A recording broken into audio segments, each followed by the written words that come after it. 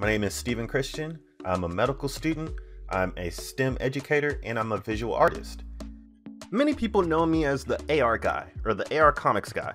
And so, what better way to share the work that I do than to open up the hood of some of my comics and actually teach you how they're made?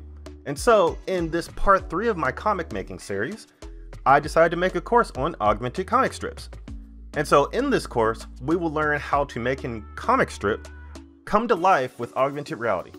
And we will take a comic and we will augment it using animation, 3D models, sound, and other digital elements so that it's an immersive experience that goes beyond just looking at pictures and words. You could hear it, you could feel it. And so with that, you could check out more information at stuckonaneyeland.com slash courses, and it'll be available on Skillshare.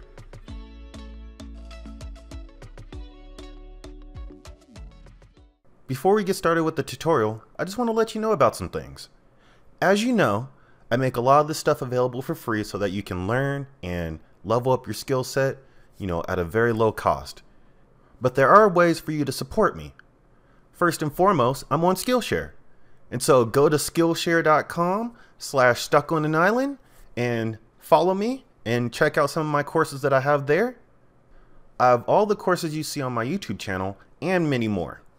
You can also support me on Patreon at patreon.com slash iltopia. Here, you could have subscriptions that are monthly or yearly, and you get access to my Discord group and a lot of sneak peeks of things that are coming out soon, from comics to new courses. You have a variety of tiers and stuff that you could support, so definitely check it out. You could go to shop.iltopia.com and it'll take you to this wonderful page that allows you to check out all my books, coloring books, augmented reality experiences, plushies, toys, and many more. This allows you to support my work and any of the stuff that I produce and put out there. All the proceeds go to funding all these projects that I release out for free on the internet, as well as paying for medical school. Because as you know, I'm a medical student as well. Last but not least, follow me on all the social nets. And so, what is augmented reality comics? Essentially, comics that come to life with digital elements. Uh, you can use sound, animation, user interactions, and volumetric data to enhance the storytelling experience, but ultimately it's uh, making comics more immersive by adding digital elements to it rather than leaving the digital elements behind. And so augmented reality comics are comics that use digital elements as a way to enhance the storytelling experience. And it's really all about enhancing that experience, making it more immersive. Normally, digital tools are used to create comics, but then they go to print and ultimately leaving the digital experience behind. And what AR does is say, we're not leaving the digital experience behind, it's actually going with the print media. And so webcomics are a great, you know, use of digital technology but many comic book lovers want to have that tactile feel from the pages. And so a way way to have the web comic feel and also the a digital feel with something tangible, you you get AR comics. And so that's something that I'm excited to share along with you. And so here is a AR comic example that I have that I worked pretty hard on. It's from my series Eyelnd Feevr and not only is it based off of a web comic that I created, but it's also a an example of the potential that AR Comics has. And so with this, you'll see a variety of different things that you can incorporate into AR Comics. And really, I wanted to push the envelope of what an AR comic can do and what it can't do. And so I think this is a great example, and I hope you enjoy it.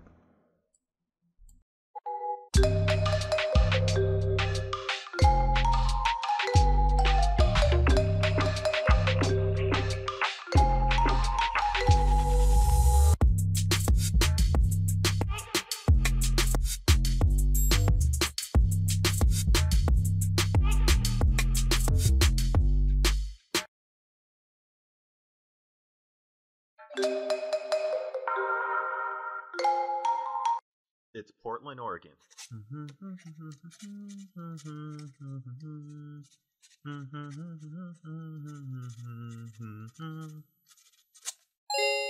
Huh? Hey there. I'm the wandering artist, formerly known as Stuck on an Eyeland. You can call me Stucky. For the past three or four years, I've been following a group of young ones on this small island in the Pacific called Mo'ovea. As I followed them, I began to write about them in my blog, The Iltopian. The one I paid the closest attention to was this boy here, Roscoe Thomason. Fight! Come on, come on, come on, come on. Ah, come on. Let's go, let's go, let's go. You got it, you got it, you got it, you got it. Finish him!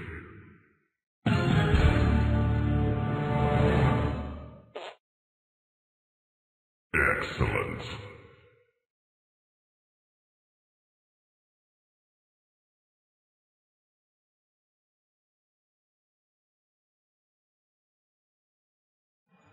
Over time, I began to grow fond of this little guy. He really reminds me of myself growing up.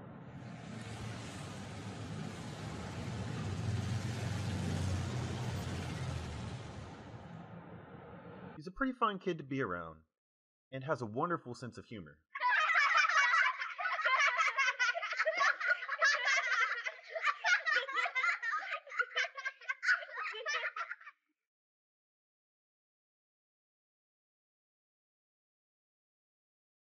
I just don't. But I worry a lot about him.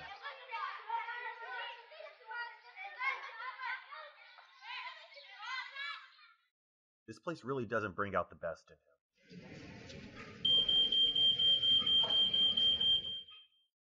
Or at least they don't see him the way I do.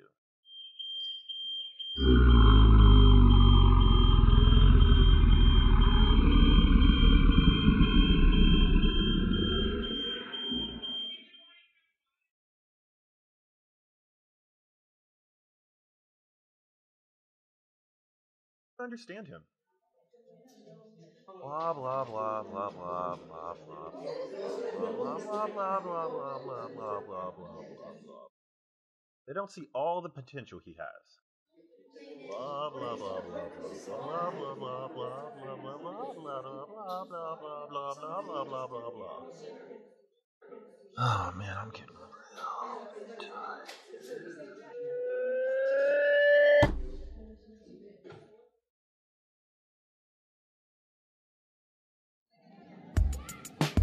Hey, watch this. Flex! Or the fun loving free spirit. Three, two, one, let's go! Oh my gosh, what in the world are you guys doing? That has astronomic aspirations.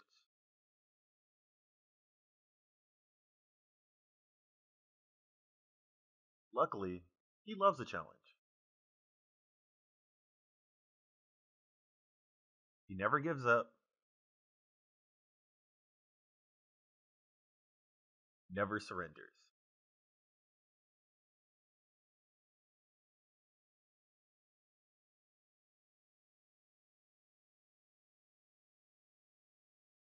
Because that's what dreamers do.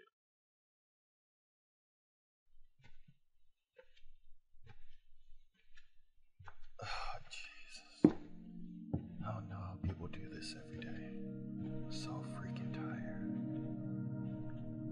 just want to get in bed. Just lay down.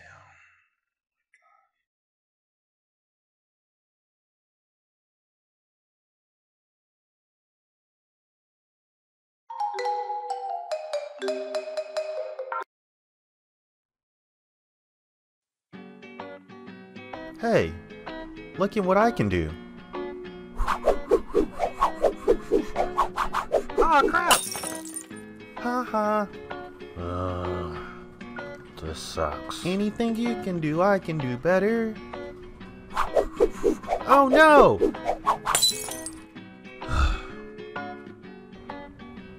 this is your fault. Okay, so based on the demo that you saw, what did you notice?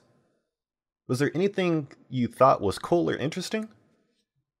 use this as an example of what you can do with augmented reality comics. Uh, this may inspire you to uncover the potential of comics with AR in general.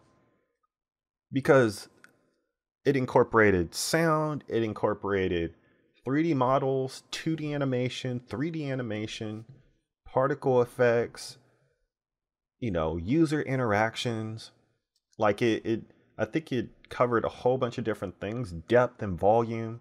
Uh, the really the potential is limitless, and I hope that this served as a a reference point for you as we go down this journey of creating an augmented reality comic. And so now that we have an idea of what AR is, let's go ahead and plan out some augmentations because that's really the big thing that we need to do is plan out augmentations so that we know what we're trying to create. And so plan out what augmentations, right? And so what we have right here is we have the template of the comic that we've been making and using. And so I have a black and white version, and then I have a color version. And so one of the beauties of augmented reality is that we could actually use the black and white version and in AR, you could see the color version. And not only that, but you could see the color version come to life in a very interesting way.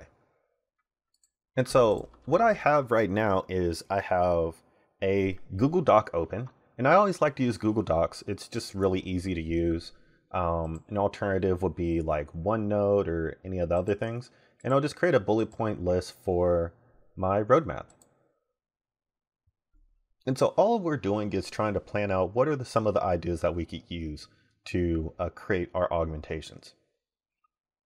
And so first and foremost, we could use, uh, we could turn black and white pages to color.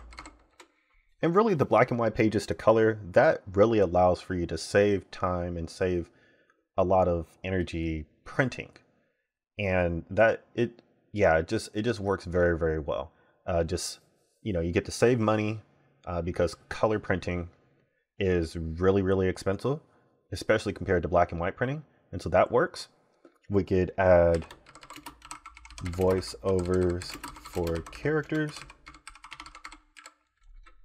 which is a great thing. You know, when we're talking about making something more immersive, really making something more immersive is just adding more senses to the experience. And so when we're looking at a comic, you obviously can see the comic and read it. And so that's your eyes. If you print it out, you get the tactile feeling of touch and so that's the that's the touch that you get. And with animation you get that sort of motion and that time uh, but then you know adding sound allows you to have more uh, you get to add your ears to the experience. And so now you're making it even more immersive because you're you know, you have sight you have touch and you have sound now. And so more senses are incorporated into the comic experience, making it more immersive. And so adding voiceovers is great. And then we could add um we could add depth. So add depth with 3D models. I like that. And then we could also add um add animation.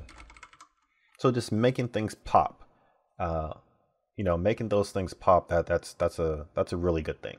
It's really easy, and so um, and so for the most part, we have uh, we have some really good things to we could include. I think yeah, turning so turning black and white pages into color, uh, add voiceovers to characters, uh, add depth with 3D models, add animation, and I think that's for the most part that that could be that could be it for right now. And so I'm pretty I'm pretty excited about this. And so, for an activity for you, uh, use a text editor or a paper to jot down some ideas for elements you want to augment in your comic. And that would be good. And so back as I'm thinking about this, right? Uh, what if I also wanted to add some animated elements to the last panel? And so we'll say we have uh, the anger symbol on Roscoe, which is one of my characters. Uh, on Roscoe, you know, animates.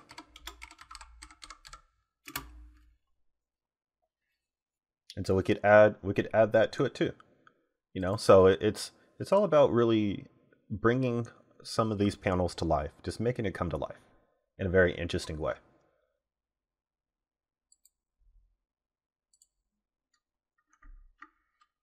And so now let's go ahead and separate the comic elements.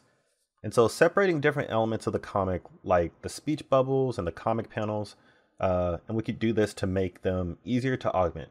And so feel free to create new elements as well uh, to add to your experience. And if not, you could just create some interesting uh, elements with uh, this. And so what I'll do is I will open up my PSD file that I have. And this PSD file has a whole bunch of different stuff. The way it's set up is I have all the different files here, and each one of these files is in a, a smart object. And so if I open up the smart object, then I have my speech bubbles, as you can see here, and I could actually make these all one image so I could turn these into smart objects. So boom. Like that. And convert this to a smart object. And so now I have one smart object for that, another smart object for that. And then I could go into this panel and here's the artwork that I have for my panel.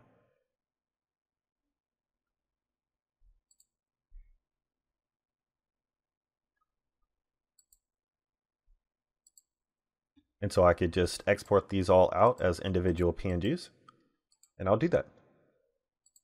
So export out, export as, and each one of these will be individual PNGs. And you want to do PNGs because they have a transparent background. And so having that transparent background makes a, makes a load of a difference. And so I'll just go to export and I'll go to my comic strip. I'll go to panels. So individual panels. I'll just keep it organized. I'll create a folder called panel one.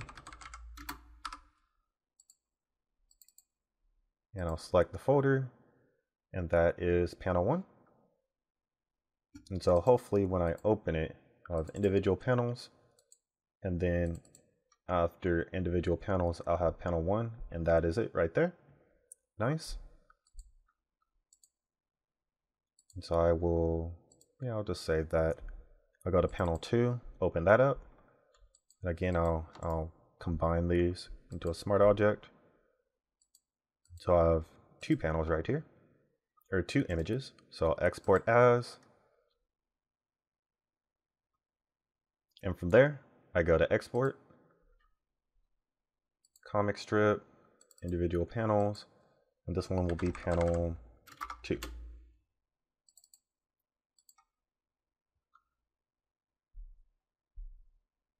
And so I will save that. Now time for panel three. Same thing. I will do convert to smart object and then convert to smart object. So now I got some more like that. So then I'll go and I will export these out as PNGs for panel 3. So click export, comic strip, panel 3 and select folder. It'll save it. Click yes. Now time for panel 4 so panel 4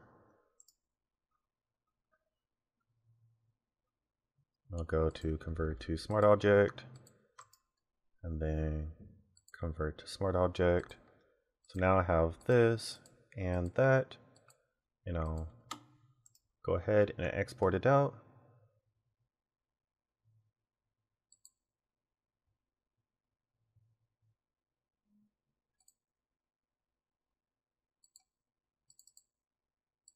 And this will be panel 4.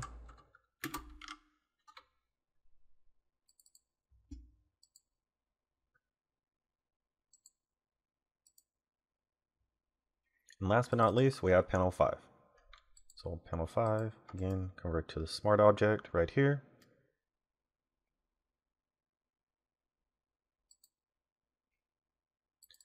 And for this, there is something that I do want to add, or do want to modify. And it's this, uh, this right here.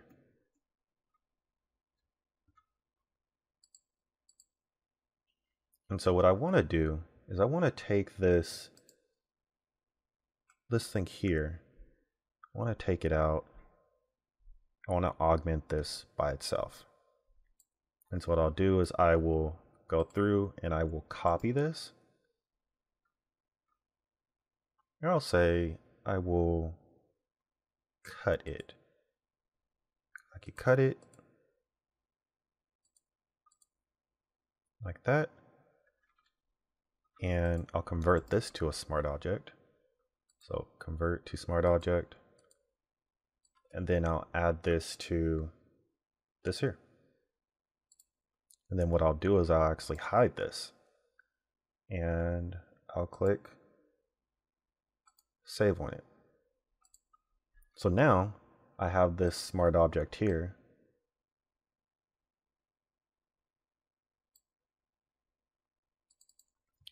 what I'll do is I'll just take some of that that black off of it. Just with the eraser tool delete some of the black. And I'll just make it a little smaller. Modify some of the elements so that it works. And I think I'm good. Yeah look at that. And so what I'll do is I'll save this and I'll call this anger. Anger symbol. And I will have that be like this. Perfect. So now what I could go through and I get oops symbol. There you go.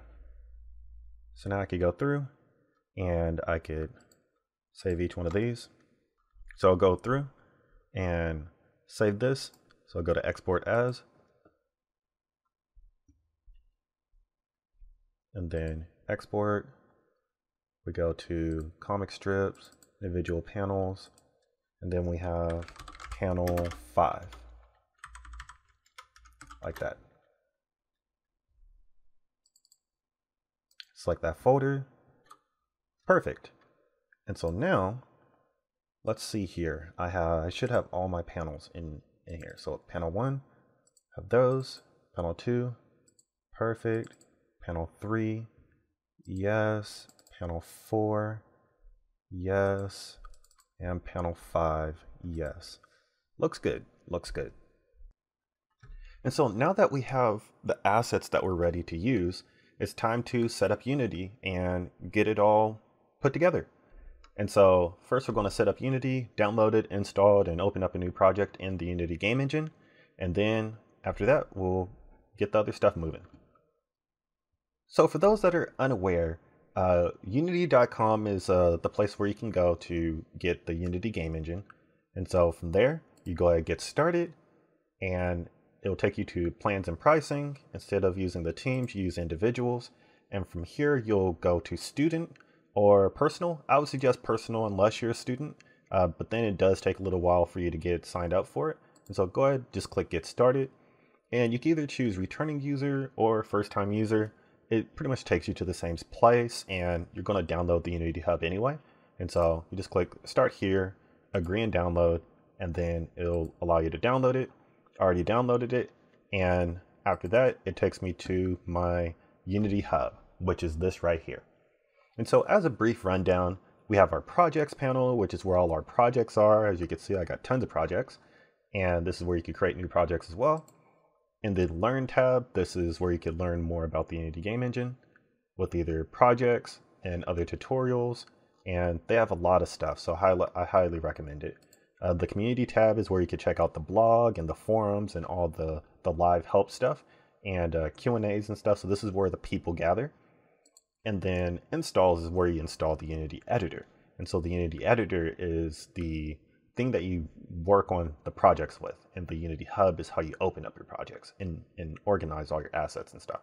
And so you just go to add, and I highly recommend the recommended release, uh, but I already have it downloaded. And if you want to use an older release, feel free to use one of the LTS ones, so 19, 2019 or 2018. But if you're just now getting started, I highly recommend using 2020 right now as the recommended release. You could use pre-releases, but I wouldn't. You know, we're, we're just not there yet, so I wouldn't try those out yet.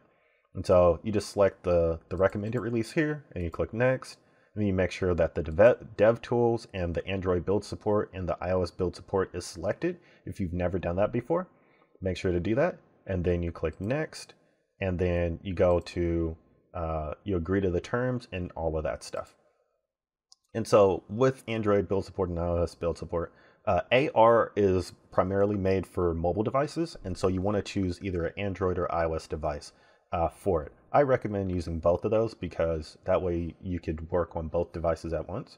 Um, but the Vuforia SDK and everything will help as well.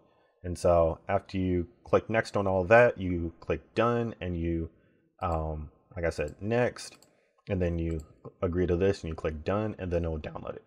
And so I already have it downloaded, so I'm not going to go through the hassle of it. Uh, but once you have everything downloaded, then you go to the arrow and you click new project and you have these templates here. I wouldn't worry too much about these. Just use a basic uh, 3D template because that's that's the one that really matters. Uh, you just start off fresh with the with the fresh build. Make sure not to use 2D, and um, and yeah, just use the 3D one. And then I'll say AR comic strip tutorial. So I have my AR comic strip tutorials, the name of the project that I'll call it. And it saves in my Unity uh, file location. So I'll click create.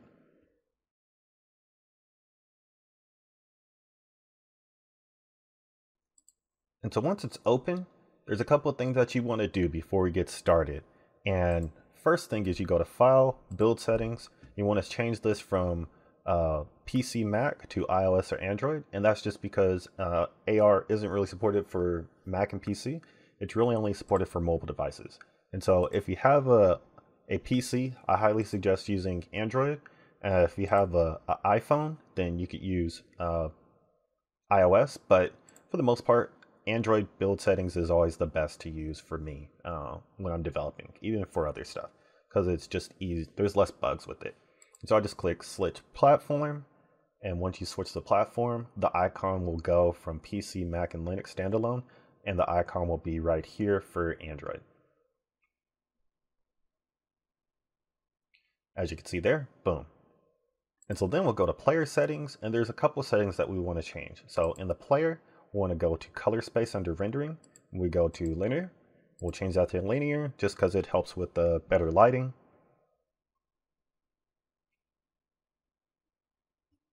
And then after that, what we'll do is we'll go to uh, quality. We'll change the quality to medium.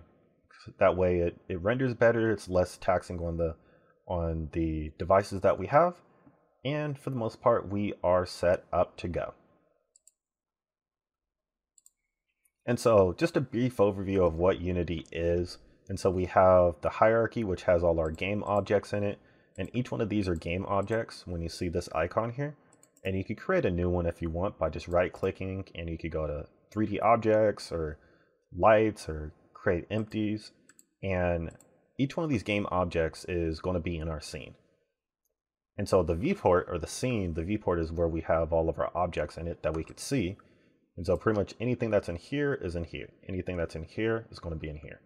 Uh, then we have our game view, which is where we see stuff from our camera. And so if you click the main camera, you'll see the main camera is the game view that we have. And then we have our inspector, which has all our settings for each one of our game objects. And so our game objects are made up of different components, and each component, like the main camera has a camera component. The directional light has a light component. If I wanted to add some stuff to the empty game object, then I could have any more stuff, like I could have an audio source. And now this is an audio component, and I could just rename this called audio. And it's, it's very flexible and stuff like that. And what I'll do is I'll just delete this anyway. But it's very flexible, and you could convert, you could add more components to different, um, different game objects. And then below here, we have our projects tab, which allows us to uh, have different files and, and organize our files and stuff in our project. So this is pretty much where all our files are. And then the console is where we get like all our errors and stuff like that. And so that helps because this is a developer tool. And so with that, we have, um, we're ready to start adding some AR stuff into the scene. And so now what we're going to do is we're going to import the Vuforia Engine SDK. And what that's going to do is it's going to enable our uh, webcam to use some of the AR features.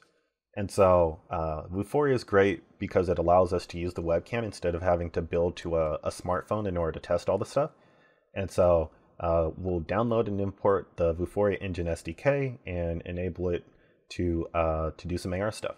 And we'll just start bringing stuff to life. So it's pretty easy. And so here we are, we're at developer.vuforia.com. And what this allows us to do is it allows us to um, download the Vuforia engine uh, for Unity. And so we'll just click downloads. And we'll go and we'll choose uh, add Vuforia engine to a Unity project, which is the one that we want. We don't want the Android or the iOS because that's not for Unity. So we want the one that supports Unity. And when you do, you'll have to sign in. So it's a free license or stuff. So like, feel free to just uh, sign up for an account and just download the download the engine. And what I'll do is I'll go to my AR comic strips. I already have it downloaded, and so uh, and so I'm not going to download it again. But uh, once you have it downloaded, then you go back to Unity, and you go to Assets, and you go to Import Package, Custom Package, and then we want to go to our our folder where we downloaded it right here, and we'll just double click it. We'll import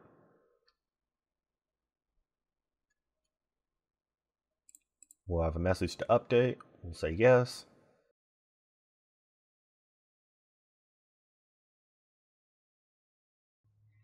And once it's downloaded, you will be able to see a new folder called editor here.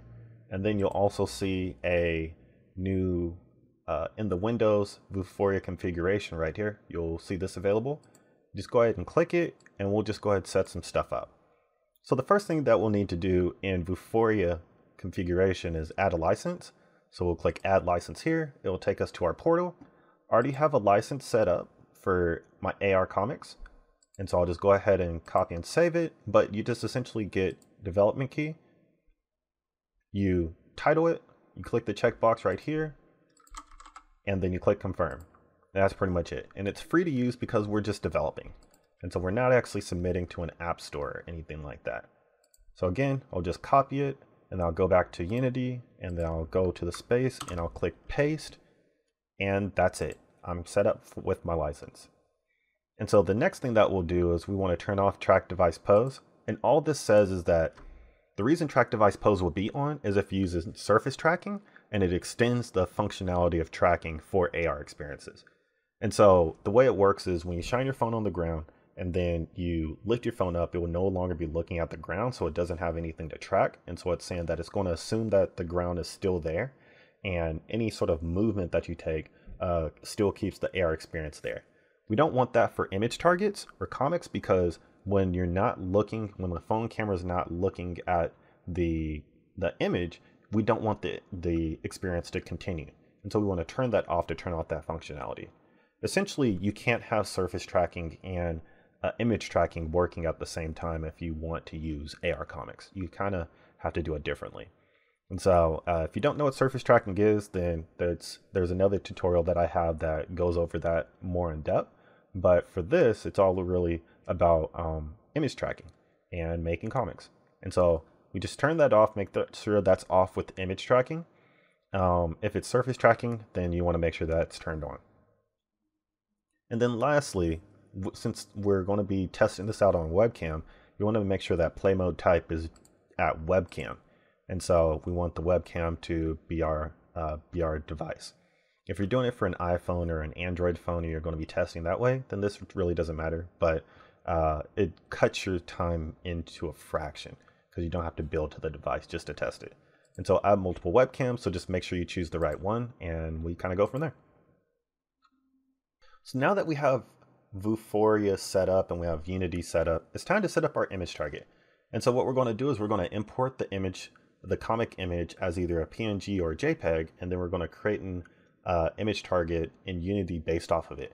And then we're going to set up our environment and everything. And so this is pretty standard for making image targets and uh, we'll be able to test our first AR experience with this. So I'm in Unity right now, and what I'm going to do is I'm going to go to my folder with all my with my comic strip stuff, and I'm actually going to use my black and white comic because I didn't want to pay for printing. That is uh, uh, in color. I didn't want to pay for color printing, and so through AR I could actually show the color the way I want it to. And so before I do that, I'm going to go to Assets, and then I'm going to just create a new folder. So right click Create, and go to Folder, and I'm going to call this Images. And so I'll go into Images, and I'll go to my folder again that has all my uh, comic stuff, and I'll just take that black and white picture, and I will add it to my uh, Unity project in the Images folder. Just drag and drop, and then we'll have to change some settings because it does look kind of distorted right now. And so what I'll do is I'll go to default and I'll go to sprite 2D UI and I'll change it by clicking apply. And now you'll see how it changed it to a different aspect ratio and it looks just a little different. And so now our image target is there. The next thing that we'll do is we'll, I'll go to scenes and as a as a reference, you don't want to all you don't want to work in the sample scene. You want to make a new scene and uh, and start fresh from there. And so what I'll do is I'll create, right click, I'll go to scene and I'll call this AR comics comic strip. And then I'll double click and you'll see that it changed to AR comic strip right there. So there we go. We got a new scene. And so before we start adding the image target, there's a couple of things that we need to do. Uh, the first thing is we want to replace the main camera, which is used for games we want to replace it with an AR camera, which is used for AR. And all the AR camera does is it um, it emulates or replicates what you would see in your phone or your webcam camera. And so uh, there's some extra components on it. And so we'll just go ahead and go to right click, Vuforia Engine, AR camera. So we have that and we just delete the main camera. Next thing we do is we add a reference for the image target by going to Vuforia Engine and then image target right there. And what I'll do is I'll call this AR comic strip. Say underscore one, just in case we make another one. And so from there, we I could double click to to go closer into my AR comic. And I could turn off gizmos to get rid of that that icon there. So that's a it's a blank image right here, it's just a blank reference. And so what I can do is I could say, okay, the image that I had which is over here in image target behavior under my uh, AR comic. I could go to image and I could select the image right here, texture, and there we go. We got it. So I'll zoom in and there we have. We have our image right there. So it's literally the same image that we have here and uh, it's making it a reference. So this pretty much makes this a QR code that you could use. And so now that we have that, I'll go ahead and save. And the last thing I could do is I could add a I could add a cube. And the cube's pretty big right now, so I'll go ahead and scale it down using the scale tool. Scale it down. And notice how when I added the cube, it made it it added it under my AR comic strip game object. So when you drag it in, it makes it a child of it, and anything that's a child of the game uh, of the image target will show up. If it's not a target of the of the game object, then it's not going to appear as an augmentation. So you need to make sure that all of your augmentations that you're trying to do are under the game object as a child of the game object. And if they aren't, then they won't show up. And so before I actually test this out, what I'll do is I'll add a new material. So I'll go to create a new folder, call it materials. And really this is just to make it, um, this is really just to make it organized. And I'll go and create, and I'll go to material, and I'll call this red. So I'll just make a red material. I'll go to my inspector, and I'll change it to red, and then I will call it red, just like that. And so I have a red cube, and it's a child of my game object, which is my image target right there. And so I have my comic printed out right now. And so when I test it out, I'll be able to test it out uh, with some augmentations.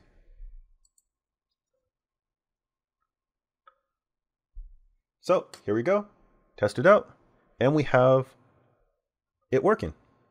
Perfect. So we are actually using AR for our comic.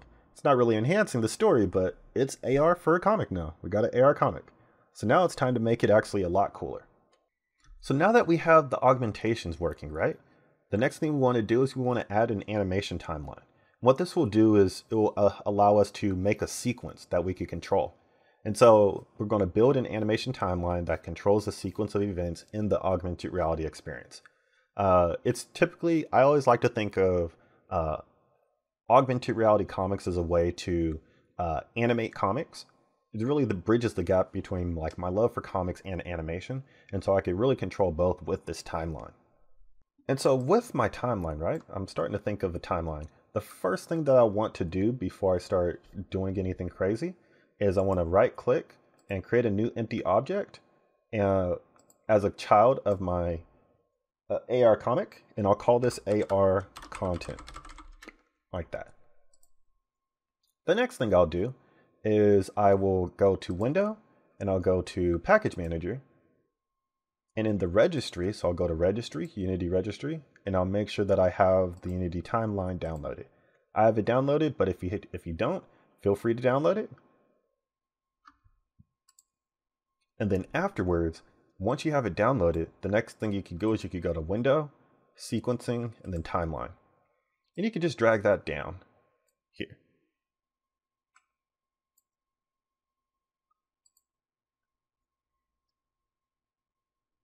And so now that we have our timeline, the next thing what we're going to do is we're going to create a new empty object again. And this one we're going to call uh, AR comics strip timeline like that. And in our assets folder, we'll just create a new folder and we'll call this animation. And we'll go inside of it and then we'll click comic strip timeline right here, our game object. And we're just going to click create in our timeline. And this will create a new game object and it's going to create it in our animation timeline like that. So we'll click save and you'll see there's a new animation timeline. And so the way it works is whenever you click on a game object, you can create a new timeline. And uh, as if there isn't a timeline here, you'll notice that it'll say create one. But if you have a game object that already has one, then it'll appear here. And so because of that, you can end up making multiple timelines that you don't want. So typically I'll have one game object that holds all the timeline assets and pretty much is the timeline. And so in order to stop it from whenever you click another game object, in order to stop it from leaving this, you just click the lock button and that'll keep it there. So notice how nothing changes now. Perfect. And so the second thing is I want to lower the frame rate to 24 frames per second just because we don't need to be at 60 frames per second for this. So standard animation is 24 frames, so I like to keep it at that.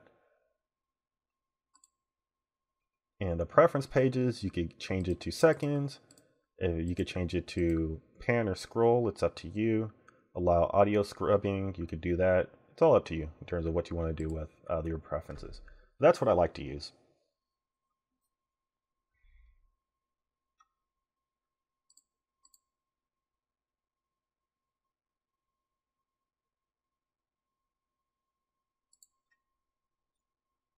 And so the next thing that we're going to do is I'm going to go to images and I'm going to import all the assets that I need for my uh, my game objects. And so each one of these, I have my individual panels. And so I could actually go through and say, okay, I want all, all of these folders. I could just drag and drop them into here.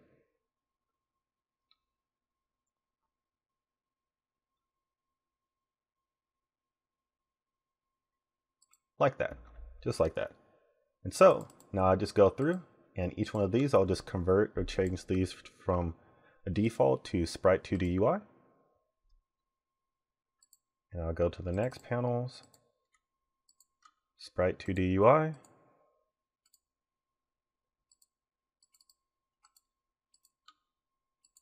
Same thing here.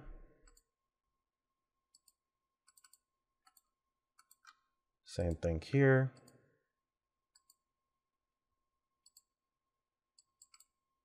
And same thing here. Perfect. And so now that I have those in there, right?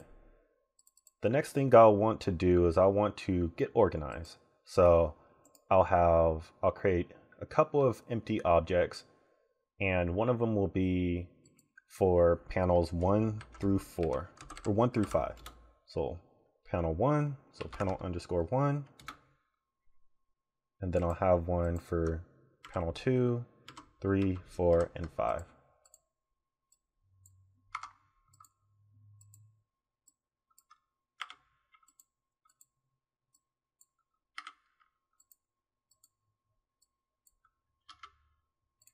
Like that. And then afterwards, what I'm going to do is I'm going to actually just lower my timeline and I will start adding all my elements to my timeline. So I'll get rid of the cube because I don't need that right now. And I'll just take all these assets. Well, I'll take each one individually and I'll show you why I don't want to select them all and drag them in there real quick. So if I do that, it'll want to create an animation sequence. We don't want to do that. And so in order to not create an animation sequence, you don't select each one of these. What you do is select them one at a time and I'll just place them in there one at a time, just like this. So I'll go panel one has all these assets right here. And then I'll go to panel two has this one and that one. Panel three, this, this, and that. Panel four, this, this, and that. Lastly, panel 5, we do this, this, and that. Perfect. So now I could go through and I could select all these.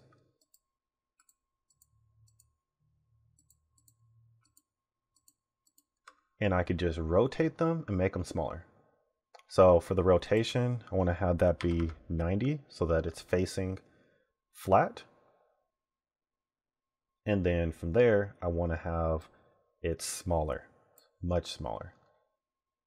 So I'll have it be, we'll say, yeah, I'll, I'll raise it up so, so that I could see everything. And we'll say, safe to say this is around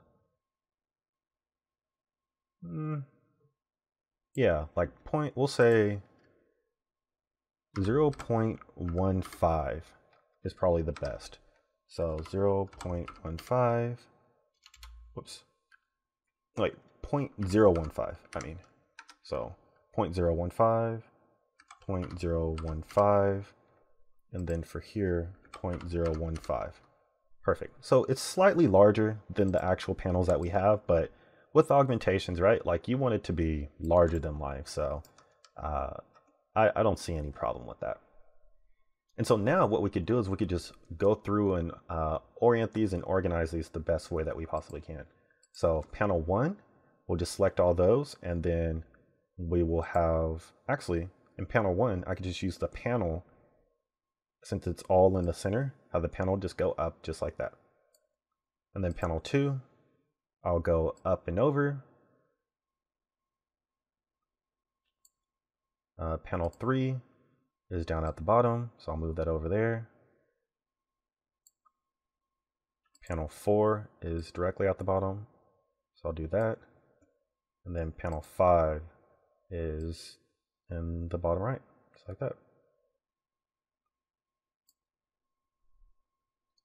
And so notice how like there's a whole bunch of different, you know, these are raised up right now and there's speech bubbles and everything, but everything sort of like overlaps on each other. The thing about this is that there are there's orders of layers that you could use. So we have uh, make sure that the panels, the bottommost layer is the one that shows at the top. So you want to make sure that the panels, the artwork is going to be at a higher point in the hierarchy than the actual speech bubbles because you want people to see the speech bubbles, right? And so after that, you also want to make sure that each one of the panels that you have, the panel images, you'll see that there's an order layer. And so that order layer is very important because it's the order layer at which things are rendered. The higher the priority, the more likely you'll see it uh, and it won't be it won't be occluded and stuff. And so uh, and so one of the things that you could do is you could lower the actual image here. So you just make it just a little lower than the actual speech bubbles that you have, like that. And then you could turn that to layer one. And notice how it, it completely covers the, the other layers, right? So that's, uh, we could actually go ahead and change that. And so actually, I'll go ahead and just raise this up just a little bit. And then I'll select all the other, I'll select all the speech bubbles. All the speech bubbles and effects. And I'll raise those up. And I'll actually make those layer 2. When I make those layer 2, they appear now. And so notice how, when they were at layer 0, no matter how high I lifted them, they weren't showing up and that's because it's rendering the layer 1 first above the layer 0. And so when you make these layer 2, it makes them available like that. And so I'll just lift it up a little bit and then I will have them, essentially, I'll have them at an angle. So I'll have them at like an angle. So instead of instead of it being 90 degrees, I'll have this at 80 degrees. So it gives it so it gives them a little effect of popping out. Actually, I'll make it a, a slightly larger angle like that. So I'll do 75 like that. Perfect. So now I have my speech bubbles. I have all the things that I need. So now it's time to, and well, we'll make it actually, we'll make these larger as well. Just cause. And so now what I can do is I could go through and I could uh, set up all the different, uh, just lay out everything the way it should be. And so I'll just go through and I'll have this, I'll just go through and I'll just move these in the areas that they need to be at. So we have Roscoe and this is what Roscoe's saying. So we have this one and then we'll just move over and have him saying it like this. And essentially what I'm doing is I'm trying to replicate what is shown here. And so what I'll do is I will have that side by side. And I'll, all I'm going to do is try to replicate what you see in the, the layout of the panels and all the speech balloons and everything. And so we have this one. This one is up here. This right here is over here, and that is like that. We have this over here, this right here, and then I'll just lift this up here. And I'll have this down here like that. So there we go. We have our comic. It really is kind of coming to life too. It's really nice. Like it.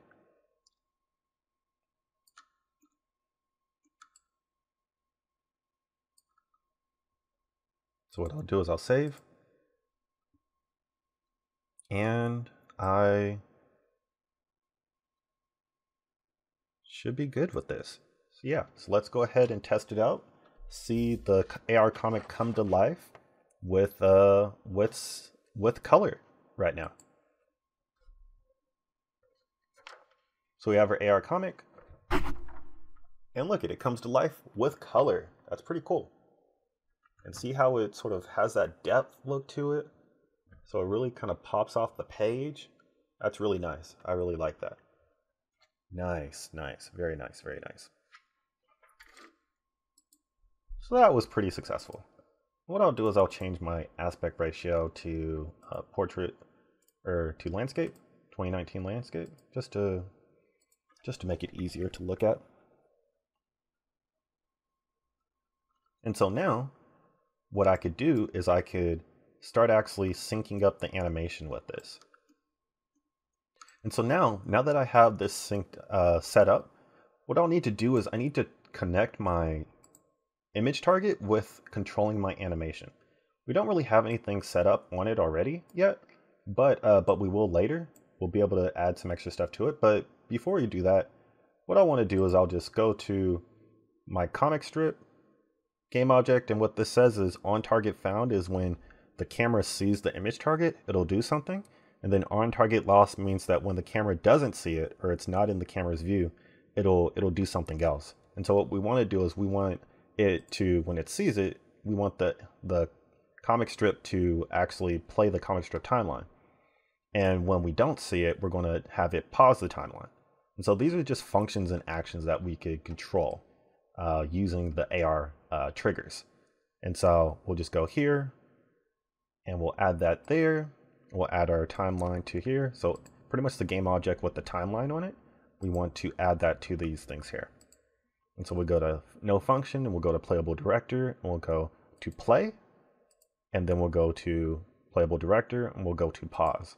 And so this says that when uh, when the image target is found, then it'll play the playable director on this game object and it will go play. And when it is lost, it will go to the playable director on this game object and it will pause it. And that's pretty much how it works. And so now it's time to add some audio elements to this. And so we made the black and white turn to color. So now it's time to add some audio elements so that we make it more immersive and engage with sound. And so we're going to add sounds to our experience to engage our ears and make the AR experience more immersive. And so first we're going to record voiceovers for the characters and include background music to really set the scene. And so in order to record stuff, right, what we're going to need to do is we're going to actually need to, um, I mean, we'll just need to record. And so I have a program called Audacity that I use, and it's a very easy program to use. It's, it's free. And so uh, feel free to go to Audacity or use Adobe Audition or any of those. And before I show you, you can go to Audacity.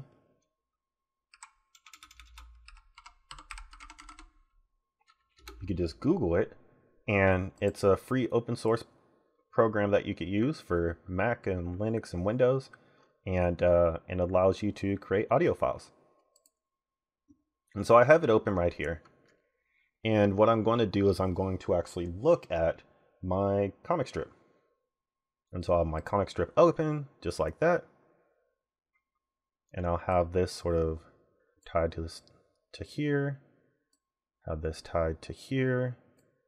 And then what I'll do is I'll actually show a recording of me actually recording it. Okay, perfect, perfect, perfect. So I have my audio right here. I got my script. I got my audio manager right here. I got the blue snowball connected. And so I could test it. Test, test, test. One, two, three, test, test, test. Now I'll play it. Get test. Get tested. Test, test, test. One, two, three, test, test, test. Perfect. So I'll just go ahead and delete that. And here we go. Time to time to lay these audio tracks down. And so I'll go ahead.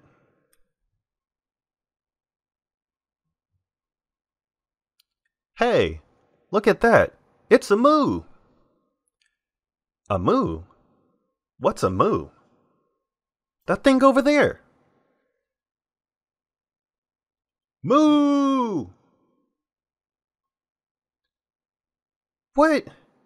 Dummy, that's a cow. A cow?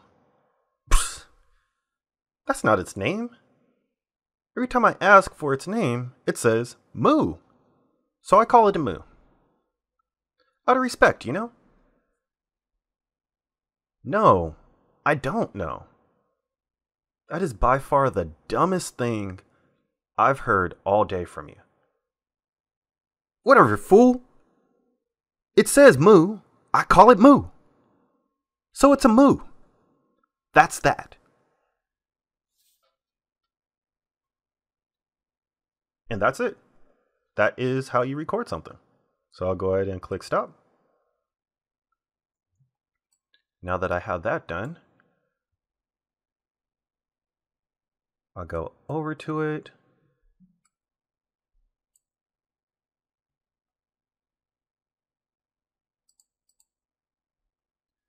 And we'll go through and try to space it out. Go ahead.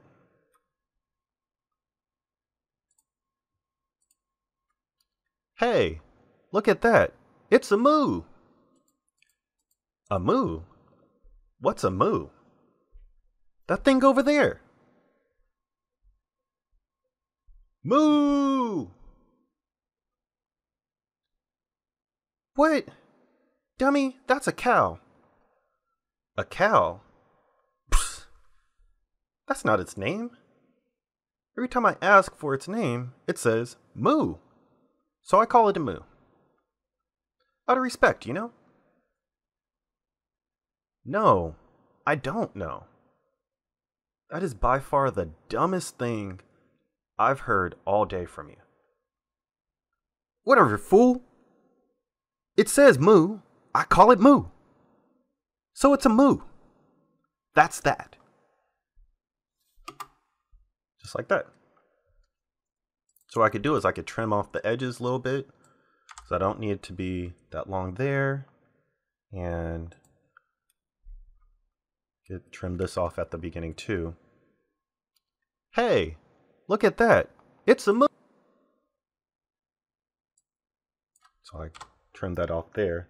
And so we're at about 55 seconds. And I kind of want the space in between to be a little less. Hey, look at that. It's a moo. A moo? What's a moo? That thing over there. And so I'll make this a little less. So I'll just delete that space. Moo! That thing over there. Moo! I'll delete this space here.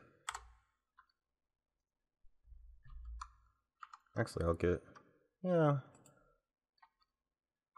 that's a good five seconds. What's so. a moo? That thing over there? Hey, look at that. It's a moo. A moo? What's a moo? That thing over there. Moo! What? Dummy, that's a cow. A cow? Psst. That's not its name. Every time I ask for its name, it says moo. So I call it a moo. Out of respect, you know? No, I don't know. That is by far the dumbest thing I've heard all day from you. Whatever, fool. It says moo. I call it moo. So it's a moo. That's that. So, got that? What I'll do is I'll save it. So I'll save the project, click yes, and I'll go to my projects here to save it, AR comic strip, and I'll say AR comic strip moo recording.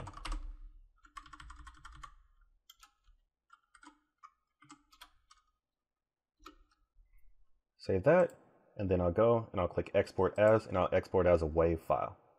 And the WAV file is a is probably the best file that I, you could record in. And I'll just click save. Do that. And so now I'll just go ahead and close that. And I'll go to my files here. And I should have a new couple of files. So I'll have my, hmm, looks like I, I didn't save it to the WAV file that I needed to save it. So I'll resave it. I'll export it as uh, AR Comics demo. Oh, yeah, that's why.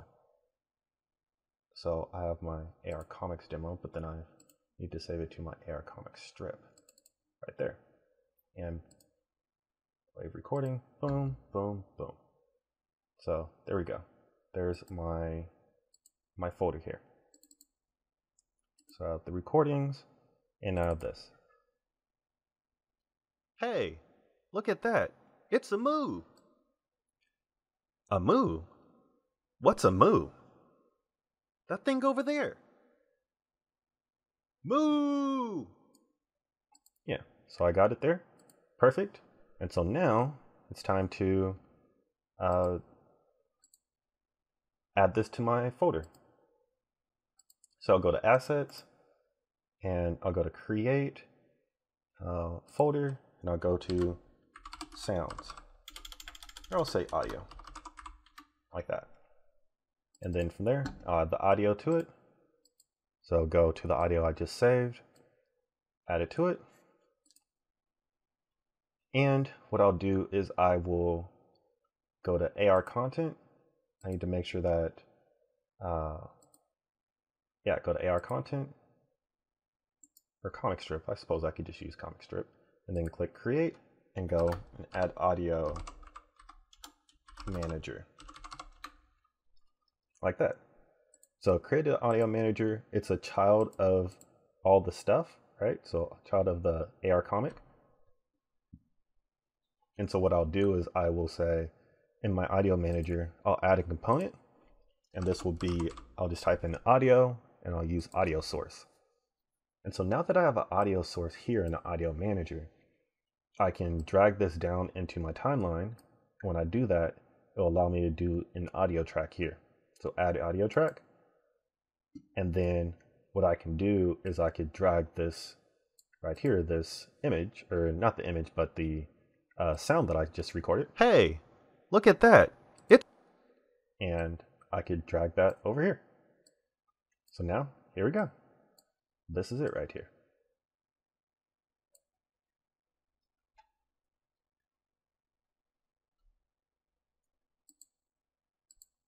And so now we could test this to see if it actually plays when we when we play it.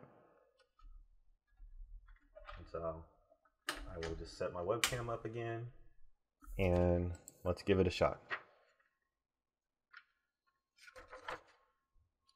Hey, look at that. It's a moo. And I hide it and it doesn't play anymore. A moo? What's a moo? That thing over there. Moo! Yeah, just like that. And so it's working. So now that I have that working, let's actually go through and uh, try to find some additional music and stuff. And so I'm, I think I want to look for something quirky. And so I could do that. So I'll go through and what I could do is actually duplicate this, duplicate the audio manager and just delete the duplicate sound. And so now I have two audio tracks. And so now what I could do is I could go to Window, Asset Store, and I could search the Asset Store for sounds that I could include into it. So we'll just say, I'll just type in quirky and see what happens with it. Quirky, easy animal vignette. Nope, don't want that. I'll say animal. So I'll look for, ooh, farm animals set. So that looks really interesting. So I might, uh, I might actually want to use that. And then wonder what this is. Does this give me any sounds? No, it doesn't look like it gives me any sounds, so I don't want that. Um,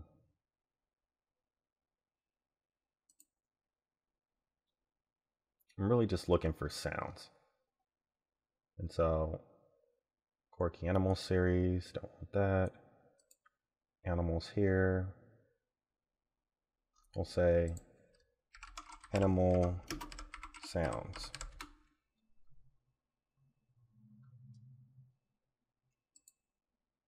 It's a free sample pack. And says that there's sounds here.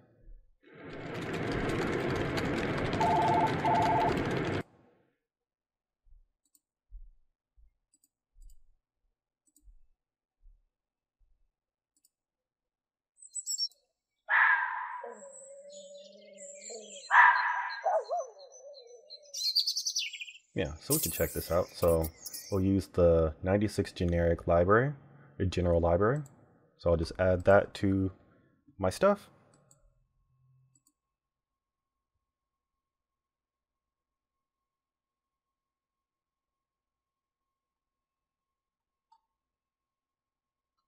It doesn't seem to have imported it, so let's give it a try again.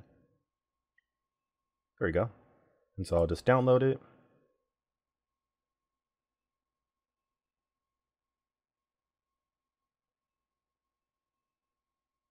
And I'll click import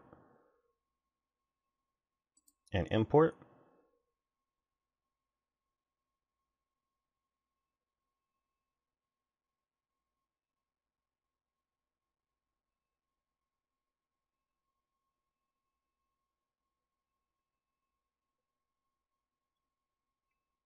Like that.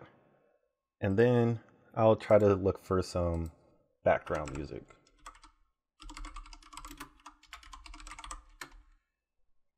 And I'll go to free. And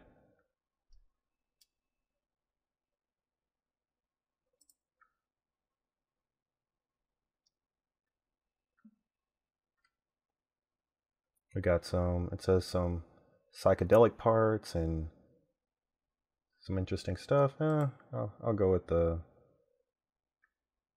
just want to look for something just nice and quirky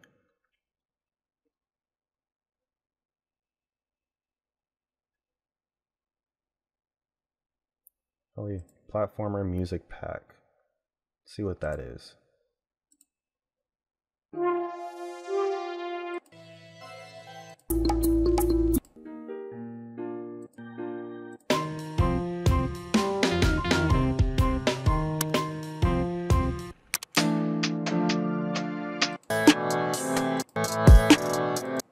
And so this is a huge file.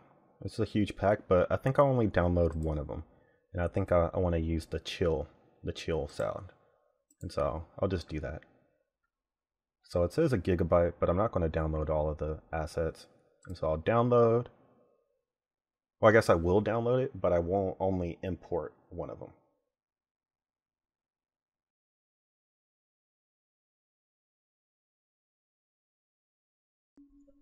Okay, so now that we have it downloaded, I'll just go ahead and click import.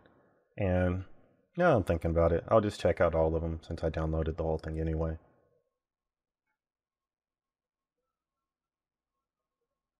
So we got some good ones here. We got some chill. Actually, I'll just uncheck this one, this one, this one, this one. And I want something that's happy and uplifting. And I don't want any rage or action. Actually, I'll just take the ones that are happy and uplifting and uh, and I'll use those. And so I'll click import. So just clicking a fraction of them, just the happy and uplifting ones. I want something quirky. now that it's done, I'll have I should have some extra stuff. So as I'm thinking about it, I'll probably have an additional, I'll probably need an additional audio track. And what I could do is I could create a track group. And this could be uh, called audio tracks. And this is just a way to be organized. And so I can just select each one of these track groups and select, uh, hold shift and select to select them all. And I can just drag them in here. So now I can hide it, make it a little bit easier to operate and organize. And so then I'll go to, uh, not images, but I'll go to my assets and I'll go to the games folder with the platformer, happy, and I have Sunny Sands.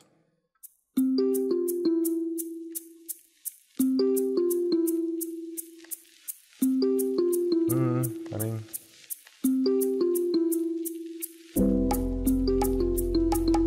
that's interesting. Go to this one.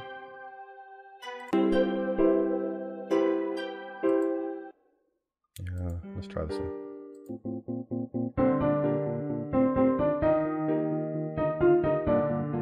Yeah, I'll do that one. So I'll do the reunion and I'll just drag and drop that down here. And I don't want it to play the whole thing. I just want it to play a little bit.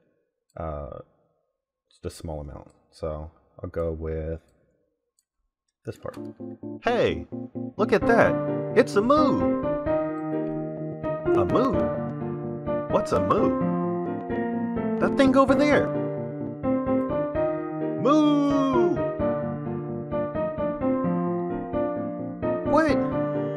Dummy, that's a cow. A cow? That's not its name. Every time I ask for its name. And so that sounds pretty good. That looks good. And so one of the things that I could do is you see how each one of the levels is about the same. The music is actually a lot louder than it than the voiceover. And so I could actually lower the level of the uh, sound by clicking the audio track here and just lowering the volume of it. And so I just lower the volume to about 68. Uh, I'll do 60. 0.6 is 60. And so now when I play it, that, it's a moo. And I could just A continue moo? to lower it down. What's a moo? Let's do about That thing over there. Moo! 40. Like that. I can make it even lower. What? you wouldn't be able to hear it as much. Dummy, that's a cow. A cow? And so I'll just do 40. That's not its name. Every time I ask for its name, it Like that. says moo. And so that's a way to just play around with levels in audio. And then what I'll do is I'll go to the generics library with the samples and I'll just see what stuff I could come up, what stuff I could find.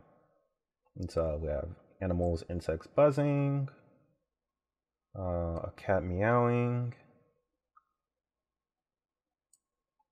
What is this? A fart diarrhea? Hmm, let me see. Interesting.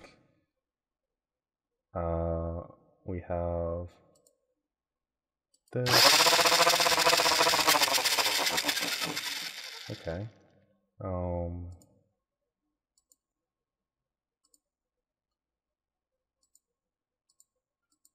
Oh, so that's thunder. Uh, rain, car revving, motors, switch, grass shards, uh, flamethrower. Hmm. Make that work. Let's see. When he says moo, we could have it say uh, flamethrower. What? Dummy. Moo. Where?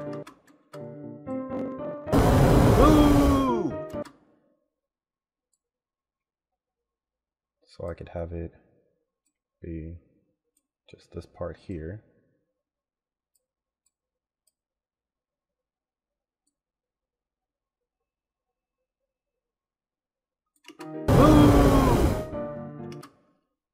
Now I could lower it like that. Then I could also bump this up. Actually, no. I just think I'll need to lower this volume. So I have that. And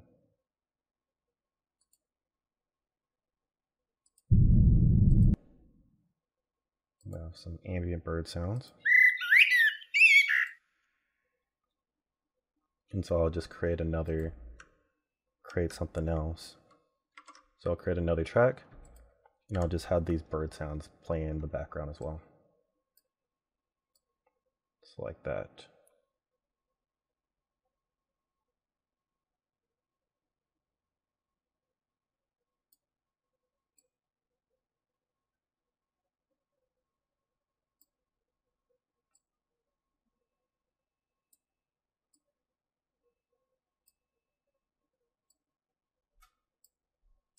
Here. Move! What? Just like that. And so, yep, just laid out some tracks right there. Worked out pretty good. Um, didn't get that moo sound that I kind of wanted, but oh well. It's, uh, you just gotta do what you gotta do sometimes. And so let's actually test it out now. Hey, look at that. It's a moo. A moo? What's a moo? That thing over there. Moo! What? And it works. So with the next activity, you could create custom sounds. And so really think about it, right? Like what unique experiences can you create with sound that really enhances the story you're trying to tell in the comic. See how far you can push your creativity by making an awesome sound design for your comic. And we did a little bit of it uh, during the activity, and hopefully you could create more of it. And so now let's add some 3D models and 3D elements to it. Uh, and so what you could use is you could use Unity's 3D tools to give your comic more depth. And so you can use Pro Builder and Polybrush to uh, create more depth in something. And it's really a great starting point to use that, even if you don't have any 3D tool experience. And so we'll actually go ahead and start doing that. And so what we're going to do is, what I'm going to do is I'm actually going to go to download two packages. And so one package is going to be from the package manager. And we're going to go to Unity registry. And we're going to go to Polybrush, or we're going to go to Pro Builder. So I'm going to install Pro Builder. So just install, and this allows you to build uh, 3D geometry.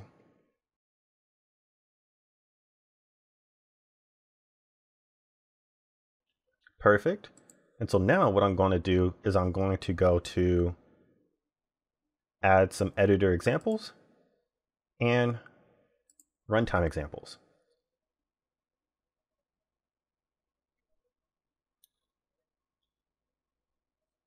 The next thing I'm going to do is add Polybrush, which allows you to paint 3D models.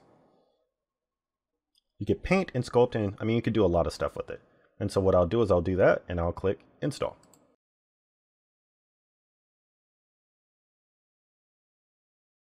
And after that finishes, what I'll do is I'll add shader examples. And voila, we got those. And so now what I'll do is I'll go and I'll add the tools to my panel.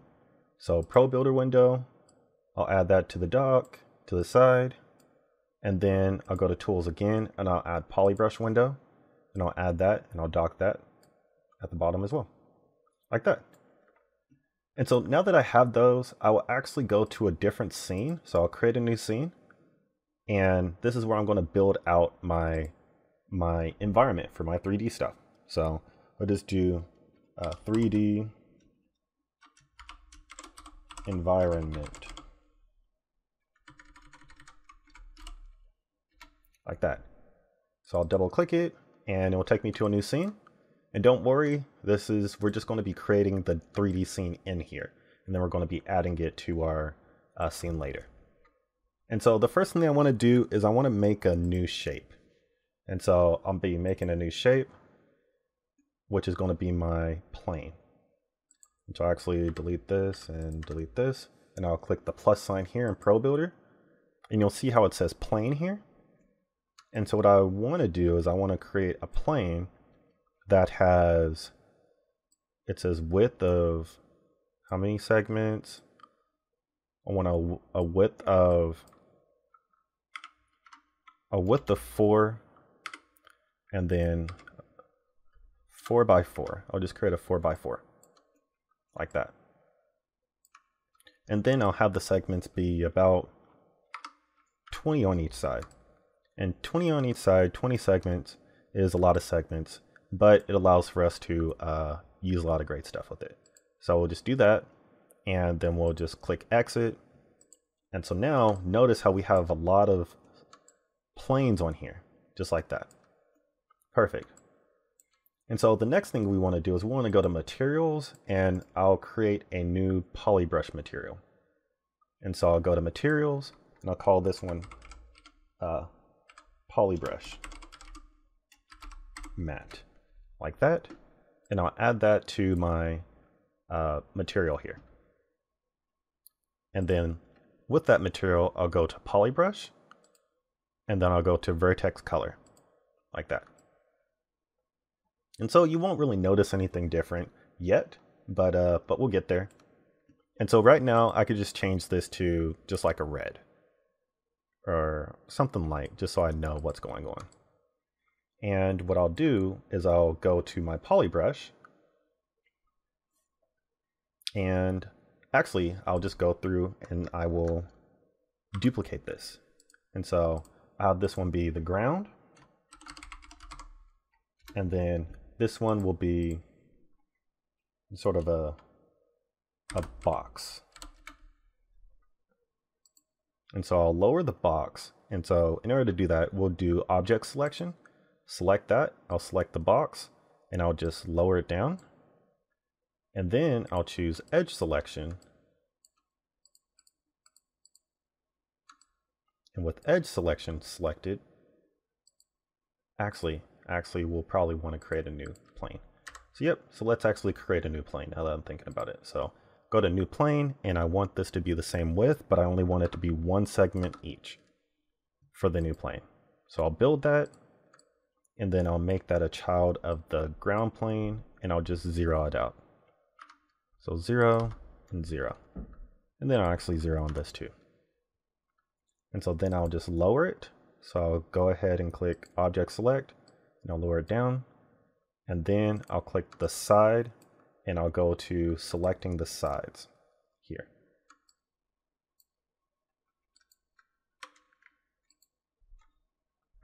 So I'll select those two sides, I'll select these two sides, and I'll select the back two sides.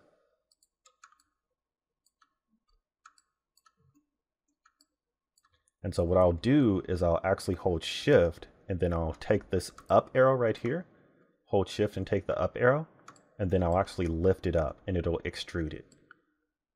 So you can see I'm extruding out now. Like that. And so now what I could do is I could take this edge right here, these two edges, and I could move over to another side and I could extrude this out and close the top of this box. So I'll do that. Like that. So now I have a box. And so the next thing that I could do is I could create a new material. And this material I'll use as like a sky. And so I'll create this material. It'll be a sky material. So just sky material. I'll put it on here. And I'll go ahead and make it just like a light blue like we know the sky to be. But you'll notice that there is a lot of uh, shadows and stuff still. We don't really want that. So you could change the material to an unlit material and we'll just do color unlit color. And now it is flat. There are no shadows rendering on this so it looks pretty trippy. It's just a, a blue void, but it's going to make the effect really, really nice. And so now what we can do is I can go through, click save, and I'll actually make this polybrush material, I'll make the polybrush material green. Because this will be just like the grass that we want. And then what I could do is I could go to my polybrush material and I could click the poly brush tools right, that we have here and I could actually just sculpt it like that So what Polybrush does is it allows you to sculpt in a very interesting way. And so I'll go through, set it up. I could change my brush. So you could change the brush by going to uh, holding control to make the outer edge smaller and then holding shift to make the inner edge smaller or, or larger. And you could just go through and holding shift and control makes the, the strength lower or higher. You just go through and you could just make some mounds like that.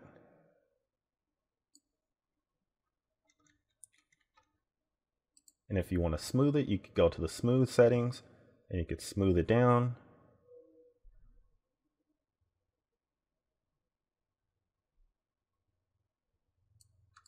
And you're essentially just sculpting. And so we'll just keep going through, smoothing things down the way they need to be smoothed down.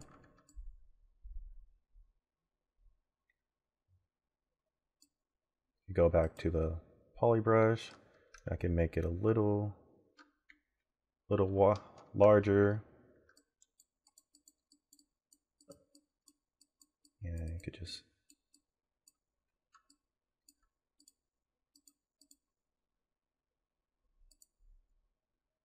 give it some more detail.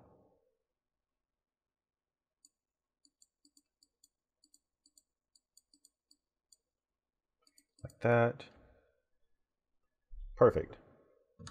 And so what if I wanted this to have just like some mounds of dirt in the background? I could do that by changing the color of it. And so what I'll do is I'll go to my polybrush matte and I'll change this back to white. And then I could go to my, this right here, the polybrush paint tool, and with the polybrush paint tool, I'll go through with the brush and I could choose a green color and then go through and I can start coloring. So I'll change the strength and I'll just start coloring this. And it colors based off of the vertexes. And so that's why we have so many uh, shapes here. We have a lot of shapes here because of the vertexes. So say I want to change this to a brown color for dirt, I could go ahead and do that. And so I could say, okay, let me let me change the the size right here. Let me change that size. So I could do that. Boom. Have that strength be up. Maybe I want to have a, uh, maybe a little darker brown. Could do that as well. Say I want the, the rim, the edges to be like that. And then maybe I want to have some in the back here. You probably won't even see it really. But who cares?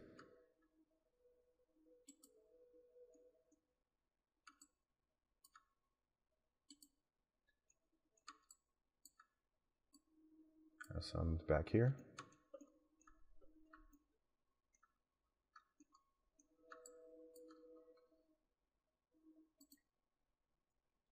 And so now that we have that, what I want to do is I want to add some 3D objects and some models and stuff, right? So now that we have our polybrush scene set up, what we can do is we could actually kit bash it. So we'll just go ahead and kit bash our scene with some stuff off the asset store. And so use the assets from the Unity Asset Store and the internet to kit bash and make more details added to your scene. And so now that we have that, what I want to do is I want to add some like clouds and 3D models and objects and stuff. And so what I can do is I can go to my asset store. So just go to the asset store and I'll say uh, animals go to free assets and I like this farm asset pack so I'll, I'll choose this. And I'll add the assets. Perfect.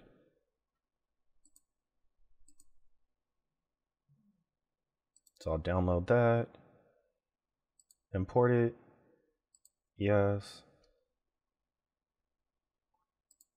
And then I'll go back and I want to have probably some nature. So I'll look for some nature packs. Uh, I have this one called a a simplistic low poly nature. Really nice, really easy. Has some grass and stuff like that. And so I will uh, actually let me let me try another one. I just want one with a very simple grass texture. So I'll do this one, the simple, the simple nature. I'll try this. So I'll open in Unity, and I'll add this one. So it's the low poly simple nature pack. And so I'll import that as well. And then last but not least, I, I, I want some clouds. So I'll get some clouds. So again, check free. And then there's this 3D low poly uh, clouds pack that I could choose. And I actually, was there another one that I could choose from? Awesome animated clouds? Hmm. Don't say. Yeah, let's choose this one. Awesome low poly fantasy clouds. So I'll open in Unity. I'll click download. I'll click import. And from there, I can just further build out this scene. So I have my ground, and so I could go through, I can make a new game object and call this uh, nature. And then I can make another game object and call this animals. And remember, I have this scene called the moo, right? And so I just want to create a scene that uh, that has the cow in it with some nature. And so that's really the, the focus of it. And so what I'll do is I will go through and I have my assets here, fantasy cloud. So I'll add some models of clouds here. Got demos. Really just want these models. So don't want any terrain meshes or anything. Although these might actually would be really nice. Uh, what I'll do is I'll just get some clouds. So I'll get probably the first three clouds here. Add those to it. They're really big, so I'll just make them much smaller. Like that. And then I will drag them up.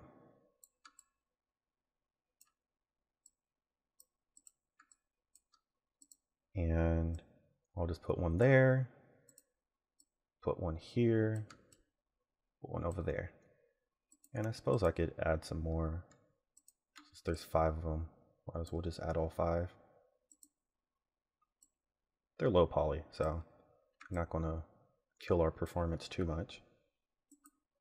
And so I'll do that. Boom. Boom. Boom, boom. Then I'll take this one and I'll move this over here like that. So I'll give it, I'll this one be over, that's a little too high. I'll this be like up here. No, rotate this one, rotate that one. You know, this one I could duplicate a couple of times and allow it to that. I guess I can move this over here. Move this over here. And yeah, I mean, this is this is what I got. I got the clouds. And so I could actually make a material for it because the materials don't really look very good. And so what I'll do is I'll make a new material. And this one will be just clouds.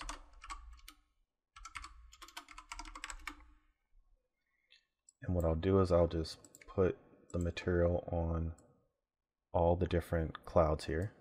So I'll go to materials here and I'll just replace this. So I'll just say replace with clouds like that. And since it's red, we don't want red. We'll want sort of like a, a whitish blue or whatever. And then it has these, you know, it has the shade shaders on it. And so, yeah, I think this is good. I think that's good right there. Perfect.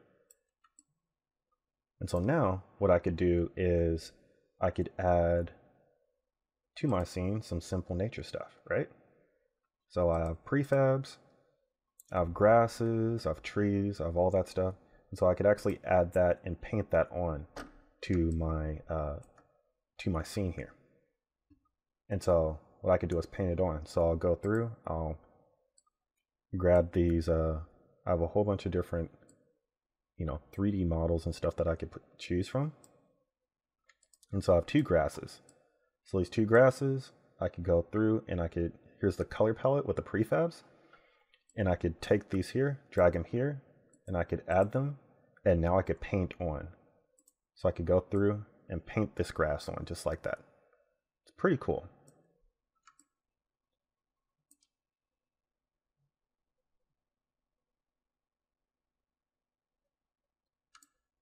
So as I go through, I can just go through, paint, paint, paint, paint, paint. Perfect, perfect, perfect. Like that. And so I have tons of I have tons of these grass textures and stuff on it now. And so I could select them all and I can just add them to my nature palette like that. And so the next thing I could do I could add these trees to it. And what I'll do is I'll add just a couple of trees and I'll just make this very, very small. So I add the trees, select these trees.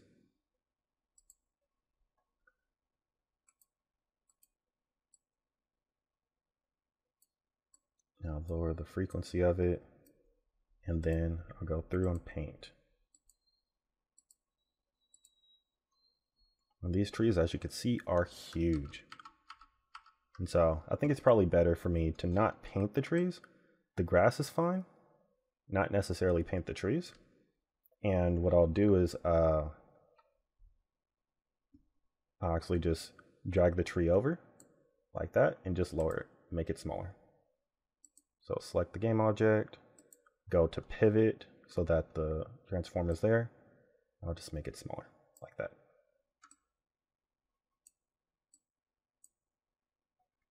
Same thing with this one. Just make it smaller. This one, make it smaller too. Like that. So now come through, can place this here. Place this one here.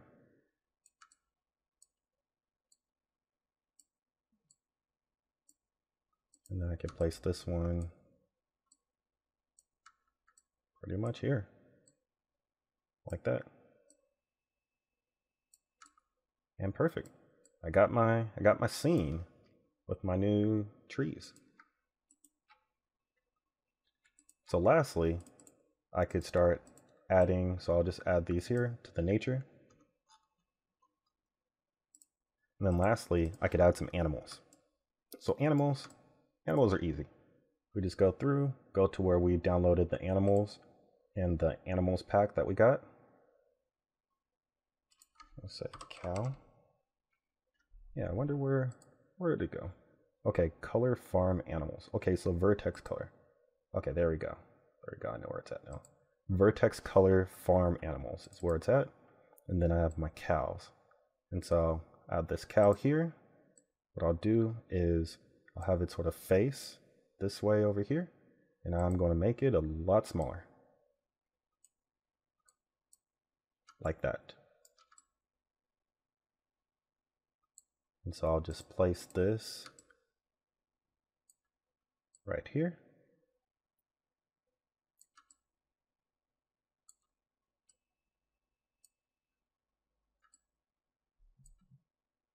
And then I could have another one, so I'll duplicate it, And I'll just have this one back here. I'll rotate it like that.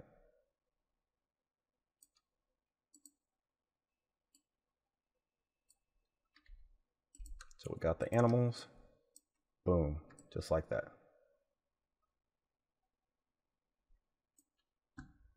And voila, I have my I have my scene now. And so the next thing that I could do is I can make this a prefab so we could add it to our AR scene. And so what I'll do is I'll right click, create, folder, call this prefabs. And then I'll drag and drop this down in there. And so now that I have it set there, I could save it and I could head back to my AR scene.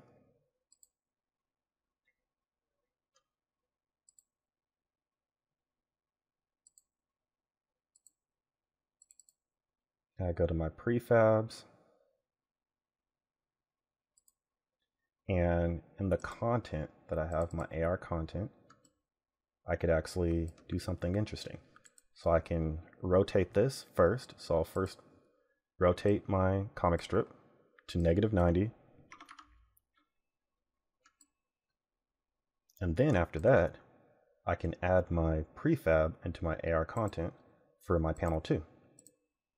So add the prefab in there. It's going to be huge. And so what I'll do is I'll just make it smaller. First I'll look for it. There we go. We say negative 90. Or actually we'll say 90. Perfect. I'll make it zero. I'll zero it out. And then I'll make it significantly smaller. So now that I did that,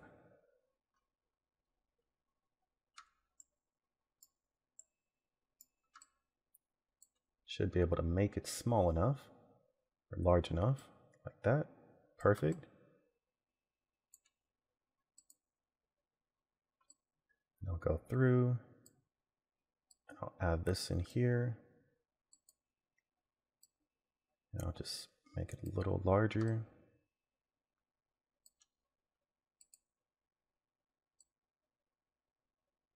Like that.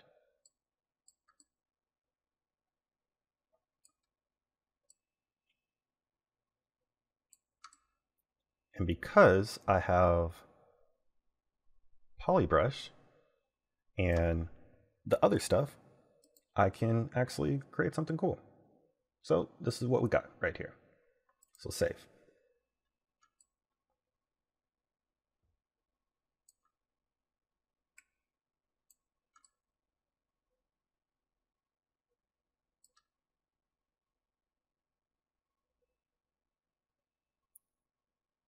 And so now, one of the things that I want to do is actually find a way to integrate this in. And we'll do this in the challenge that we have. And so, what we have in activity three is now that we have a 3D object in our scene, right? Let's try to actually integrate that seamlessly into it using a depth mask and some other assets. And so what does it look like to add depth to an environment, right? That's, that's really what we're exploring. And so what we're going to use is a Pro Builder, and we're going to use some depth masks, and we're going to give the comic panel more depth by turning it into a portal for this environment. And so feel free to pause it if you need to, to, to try to create this yourself. Otherwise, we'll create it now. And so what I'll do right now is I want to actually just make a panel. And so I'll do a panel by just creating a new shape with Polybrush or with uh, Pro Builder. And this new panel will be essentially a one by one by one. Line segments one. Actually, I don't want any line segments like that. So it's just going to be one panel. And I'll click build. Perfect. And so now what I'll do is I, and the reason I want it to be one panel is because I want one edge. So that means I have one edge for this. And that's perfect. And so what I'll do is I'll change to a material. I'll create a material that's just a transparent one. Now I'll click create material transparent material, just like that. And so what I'll do is I'll change it to transparent and I'll lower the opacity down so that it's transparent and I'll drag that on there so you can kind of see through it. The next thing I'll do is I'll rotate it negative 90 degrees so that it's sort of flat. And then what I'll do is I will just make it smaller. And so what I'll do is I'll just change it to just select the object and I want to move it in. So I'll move it in like that. And I'll move it in like that. So you have a lot of control over this.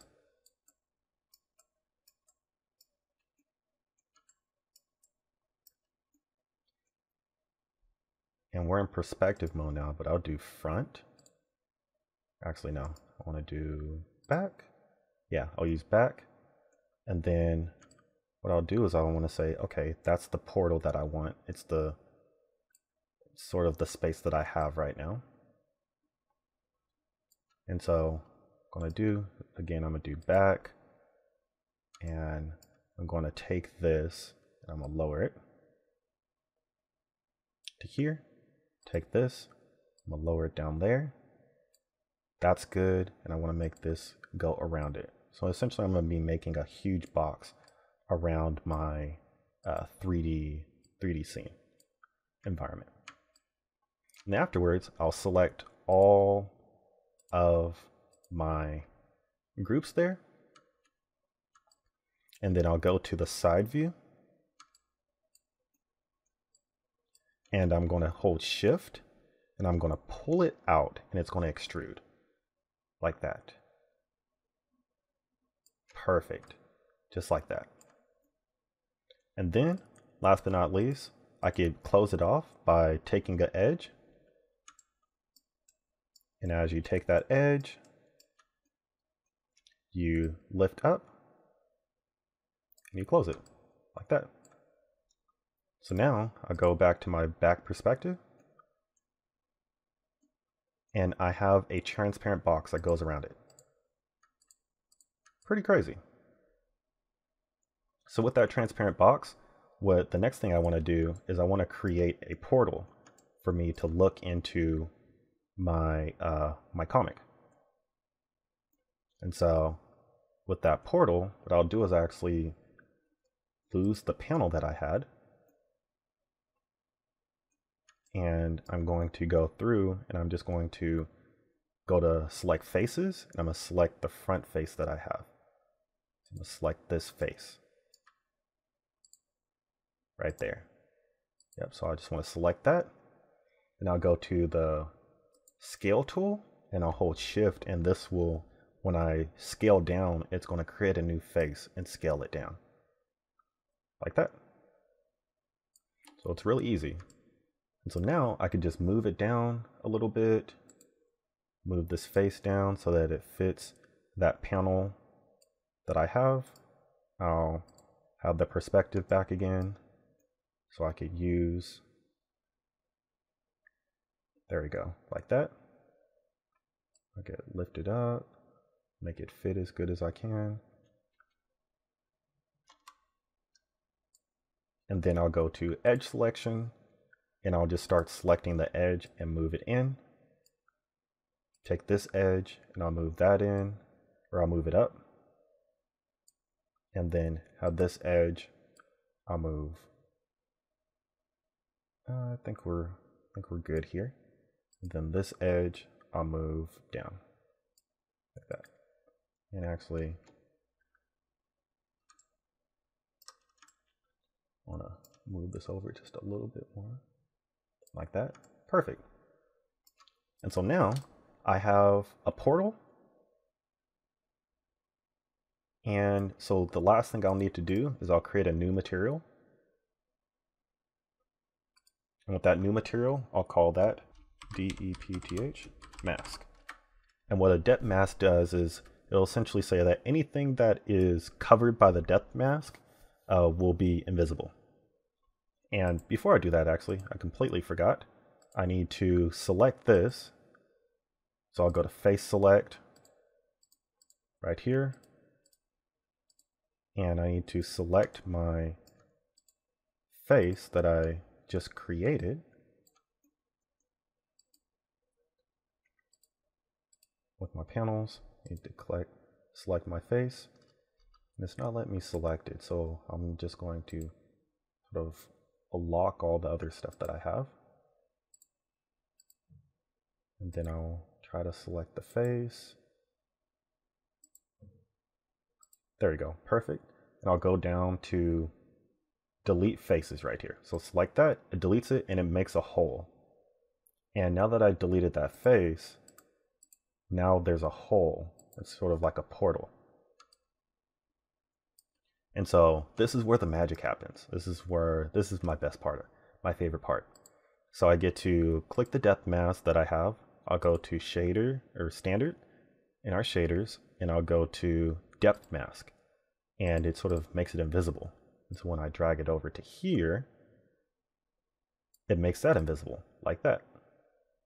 Pretty trippy, huh? And so now what I'll do is I will actually just test it out. And so I know that panel 2 is the Moo panel. And so what I'll do is I will just exit this out. And what we'll do is I will save it. And let's test it out. Hey, look at that. It's a moo. A moo? What's a moo? That thing over there. Moo! What? Dummy, that's a cow. Okay, so it didn't necessarily work for me right now, and I'm going to see why, because it should have. And so you can see it's not appearing, but for some reason it, it does appear when it when you test it out. Oh, and it's because I need it to be in the panel with it. Silly me. Okay, so now, so make sure that you have all of your your panels and everything, the planes, the panels, I'll call this uh, depth mask. Make sure that you have everything that you need in your panel under the game object. And so I'll click save. And we'll give it a try again. Part two. Hey, look at that. Look at that. It's a moo. A moo? What's a moo? That thing over there. Moo! Just like that. And so we were able to create a 3D environment and actually create a portal for it. So that was actually pretty cool. And so hopefully you were able to follow along and uh, would love to see what portals you were able to make. Brush or anything as well either. So if you want to keep them, you can, but I'm just going to close it so that I don't uh, have any wasted space with it. And so now we know that we have our audio tracks, but it's time to add some animation. And so what I'll do is I'll add a track for each. I'll just drag and drop each uh, panel. And each panel will have its own activation layer. So I'll just control all these. First I need to make sure that I click the this box right there. And then I'll go ahead, drag and drop all these, and I'll call these activation tracks. And the first thing I want to do is just lay out my timeline. And so with the timeline, right? Uh, panel 1 will go, then panel 2, panel 3, panel 4, and then ultimately panel 5 will be the last one, right? And so in order to do that, I need to actually uh, have them play out. And so let's just go through and just start laying these down. And so the activation tracks, right? They, whenever the activation track is on, it'll show stuff. And when it's off, it'll not show anything. And so we'll just have it sync with the audio. And so we'll just play the audio and then we'll uh, line up all the panels. Hey, look at that. It's a moo. A moo? What's a moo? That thing over there.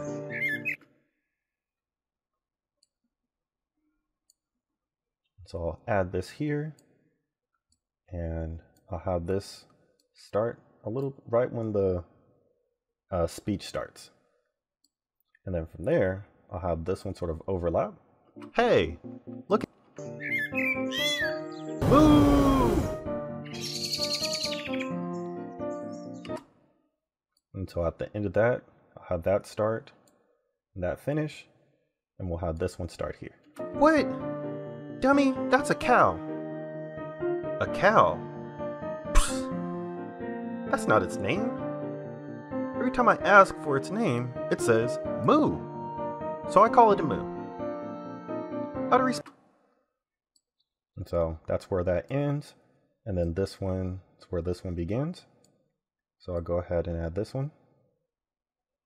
Out of respect, you know? No, I don't know.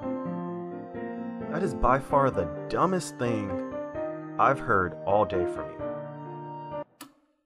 And so after that, I'll have this one. And then last but not least, I'll mm. add the one at the end to the last. Whatever, fool. It says moo. I call it moo. So it's a moo. That's that. Like that. And so we could play it out. Hey, look at that. It's a moo. A moo? What's a moo? That thing over there. Moo! And so with this, as I'm thinking about it, right, I could actually push this back inside the actual depth mask and give it a, make it work. So I'll just push this back, go inside the depth mask if I could find it. Click, I know it's a hide, so I could just unhide it.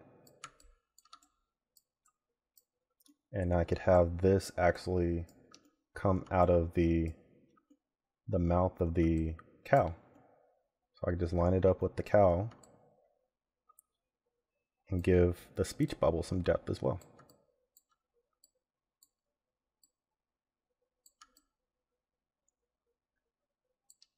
Just gotta find the right angle.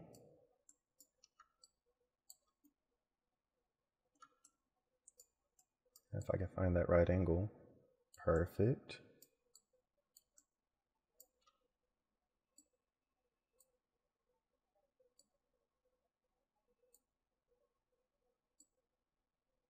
Could quite literally have it coming out of his mouth. And yeah, looks like that works. I'll go ahead and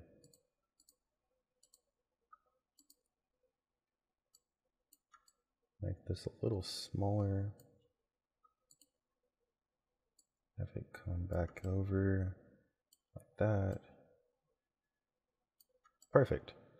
So we got that. And then I could turn the depth mask on and it works. And so I have everything synced now. Everything synced.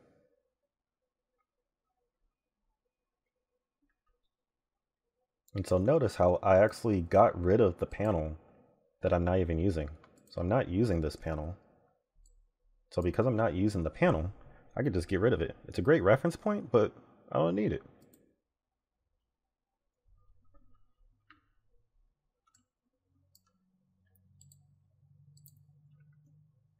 And so now that I have that, I could go through and start animating all the different panel assets that I have. And so what I'll first do is I'll start with panel one and I'll just try to sync all the different uh, assets that I have. So I know that these are already there. So I'll just drop this down. I'll make them animation tracks. And so with these animation tracks, I'll say, okay, start with this here and this here. Hey, yay. So we have, I'm saying hey. So I'll go ahead and say I had this. Uh, I'll essentially have this just like scale in. And so I'll first start off with it being like this.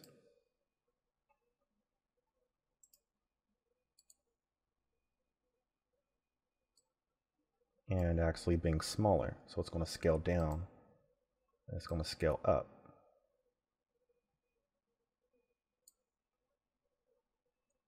So, like that.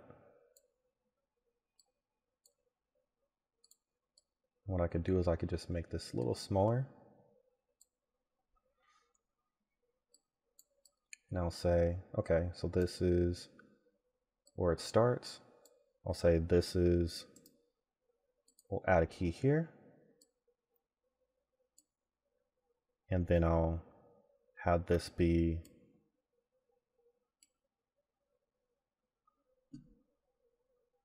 a larger key and it comes down. So, hey, like that. Hey, look at that. It's, it's a move. Okay, so we have our first bubble popping in. It just really pops in like that. And so we'll go through and I'll show you a real easy technique that makes things really easy to have it really pop up. And so that it's a moo. A moo. So then this one right here, what I'll do is I will say it's like a moo.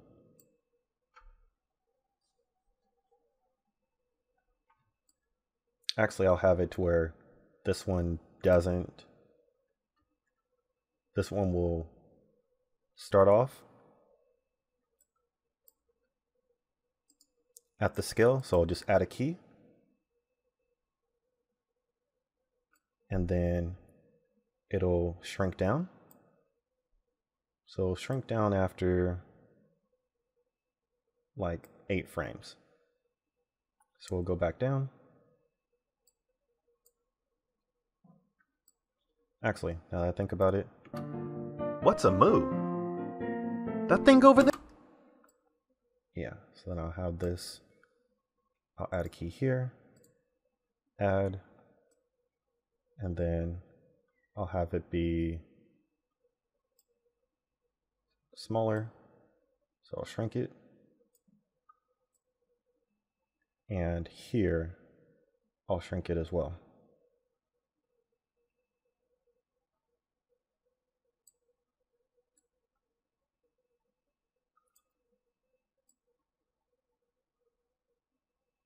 And so now, whenever the person speaks, then it pops up, but it doesn't stay up the whole time. And so now, a move. That's what I'll do with this one too. So I'll first start off by selecting this one right here, and I'll right click and add key. And then I know that this is at the end of where he speaks. So then I'll right click and add a key here. So this is exactly where he wants to start. So now I want to animate it in. So I'll go through and I'll just scale it down, make it small. And then I'll go through here and I'll make it small too, like that. And so to have that like pop-up effect where it sort of bounces in like that, I could go through and I could go through a couple, go back a couple of frames, and I could zoom in and show you. I could go back a couple of frames. And so one, two, and I can just make it larger. It's really large. And so now I have that pop-up effect because it goes bigger and then it gets smaller. And so I always do about like two to three frames before the final keyframe right? And so we could do that with this one too. So, so go one, two, it'll go three. And then what I'll do is I'll actually make it bigger like that. And I could actually do that with this one too.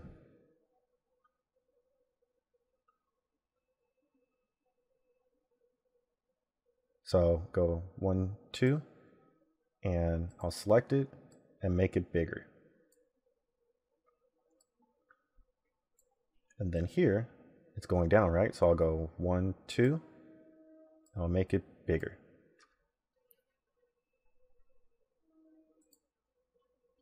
And so now let's actually test it. Hey, look at that. It's a moo. A moo? What's a moo? That thing over there. Moo. So that that worked for the first one. Cool. So now let's start adding it to the other ones.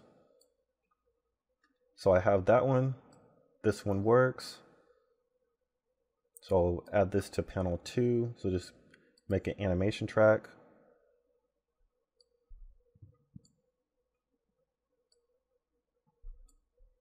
And what I can do, I can't really see it right now, so I'll just get rid of this depth mask for a little bit, but I know that I want this to be a scale. So I want to be able to have the scale here.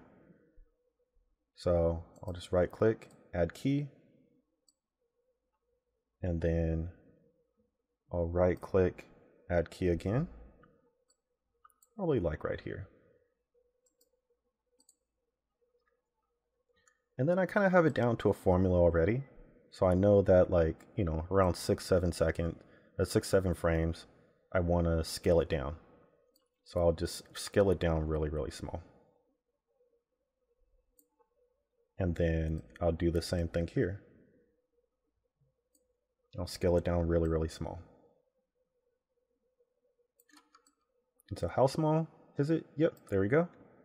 And so now I could go to here and I could say, and I could zoom into this. And I could literally do this, use a formula for this. So one, I go one, two, three, and then I'll make it really big. And then here it's one, two, three, and here I'll make it really big. And so now, if you could see it, Boo! Really simple. You're just following that formula. And so then after that, I'll click stop recording, and that's my animation track right there.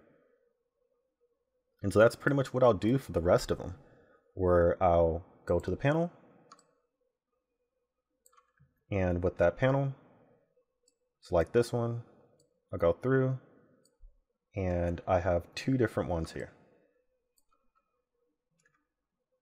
And so what I'll do is I'll say this and this get a animation track. So under panel three, animation tracks, and I'll just start by hitting the record button on both of them.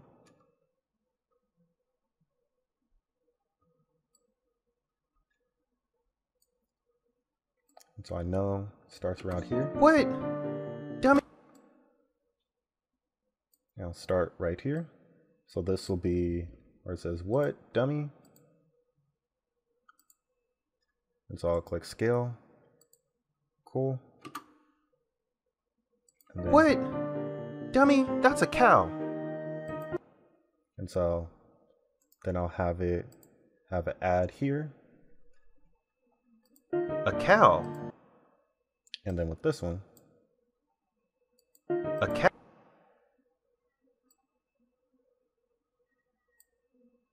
have a cow.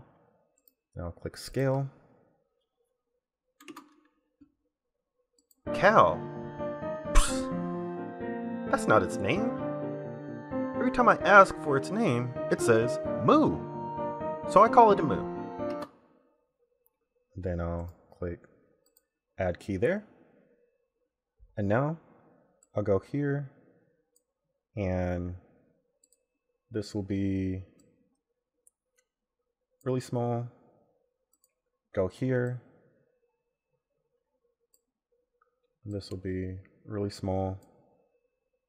And then I'll go here and I'll make this one, two.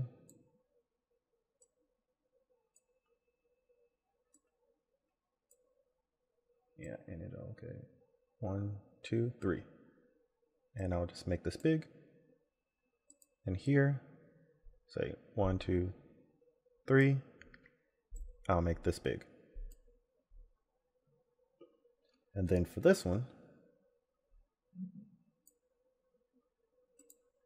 I know this is add key here. And this is going to be really small. So what I'll do, whoops, I'll just go ahead and update that key.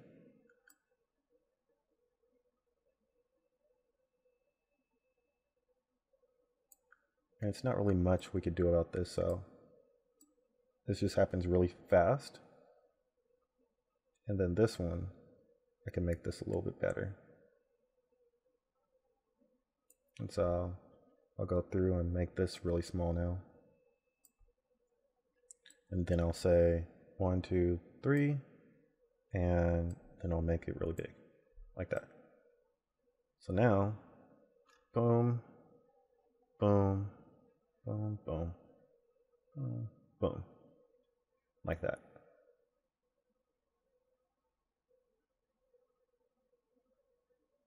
And it pops in, just like that.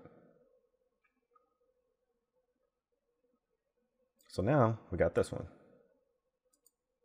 So I'll just move on long. Panel 4. So I'll select the two and I'll drag them down. Animation track. So start the animation tracks. Out of respect, you know? Out of So this is where he kind of starts talking. So he says, out of respect, you know? And so I'll hit a key there. out of respect, you know? Then at the end of him talking, I'll hit add a key there. No.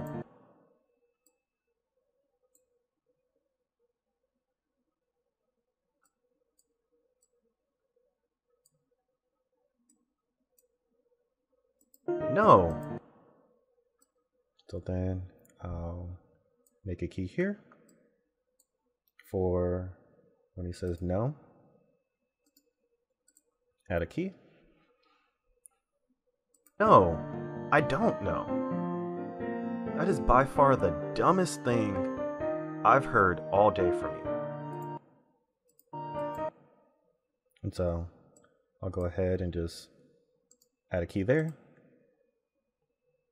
And in many ways, I could just, I now that I know where the main keys are, I could go and I could just add the, the large key first. So one, two, three. And I could just say bigger. And I could go to the end here and I could just say really small. And the same here. It's one, two, three. And I could say bigger. And then I could go a little bit further and I could say really small. And then from here, literally the same thing. So one, two, three. Like this. We say bigger. And then a little bit ways away, we'll say really small. And then this one here, one, two, three. Say bigger. And then we'll say really small. Like that. So now, let's check it out. Out of respect, you know? No. I don't know. That is by far the dumbest thing I've heard all day from you. What? Just like that. And so that's done. So we got one more. One more panel. And so this panel should be really interesting. And so I have add that depth mask back in. So I have the anger symbol and I have whatever full. And so I'll add this to it, animation tracks, and I'll just lift this up just to separate it, separate the panels. like so. And since I have my animation tracks going, I'll go ahead and click start right there.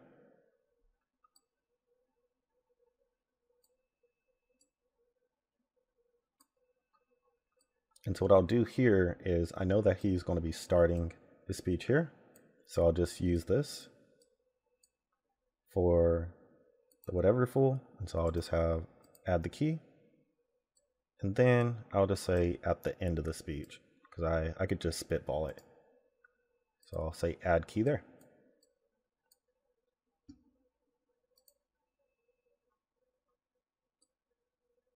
So I have these two keys.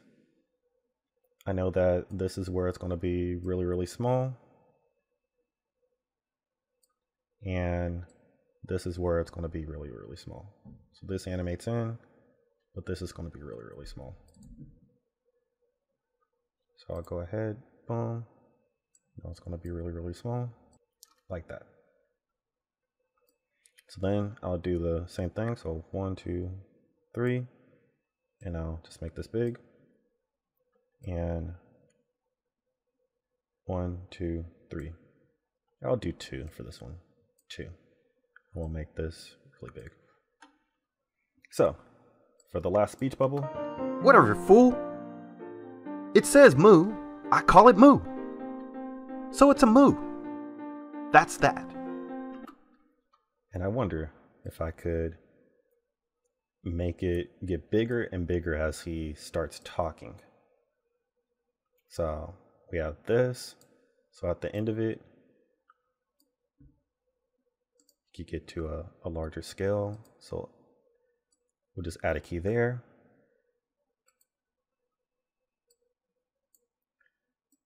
Then when we get here, we could add a key. And then with that, he it gets bigger. I think that would be pretty fun. So it's like he gets bigger.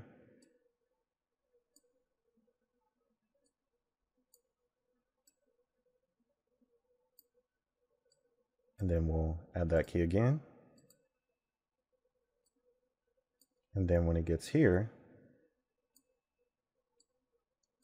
it gets even bigger.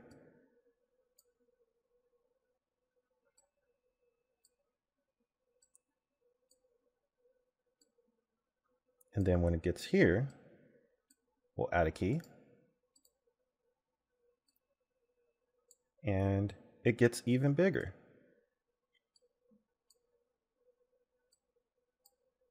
Like that.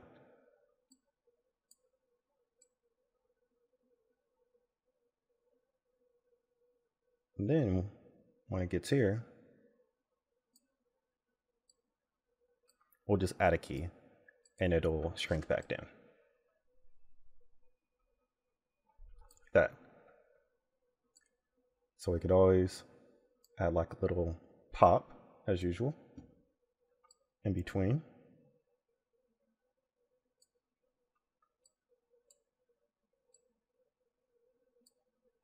I think to just add a little add a little pizzazz to it. And so now let's give it a shot. Whatever, fool. It says moo. I call it moo. So it's a moo. That's that. Maybe a little too much, but I'll take it.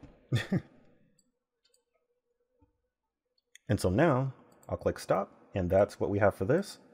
And so now what I could do is I could we could go ahead and just have a an infinite loop for this anger symbol. And so what I'll do is I'll hit record and I'll just have a keyframe here. So I'll add a key. And then what I'll do is I will go three frames and I could just make it go bigger. And then I could go another couple of frames and then I can make it go smaller like that.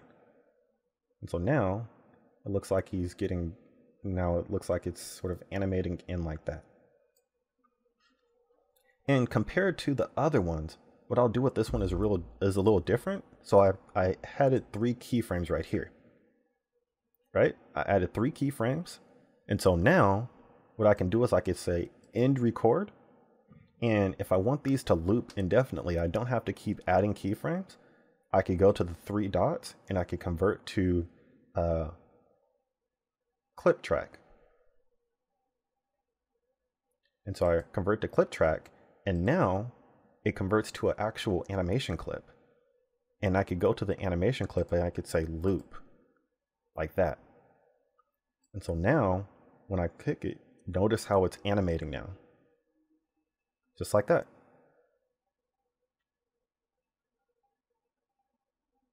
So now let's just give it a shot. Whatever, fool. It says moo. I call it moo. So it's a moo. That's that. And so now we have everything working as we would like it to. We have this animation track with animations, frame by frame animations. We did some tweening. We have some sounds. We have a lot of stuff going on, right? And so with it, what we'll do is we'll just go ahead and give it a shot. We'll test it out. And if we test it out, we're on the right track. We did something cool. So here's the test. Hey, look at that. It's a moo. A moo? What's a moo? That thing over there. Moo! What? Dummy, that's a cow. A cow? Psst. That's not its name. Every time I ask for its name, it says moo. So I call it a moo. Out of respect, you know? No, I don't know. That is by far the dumbest thing I've heard all day from you. Whatever, fool. It says moo. I call it moo. So it's a moo. That's that.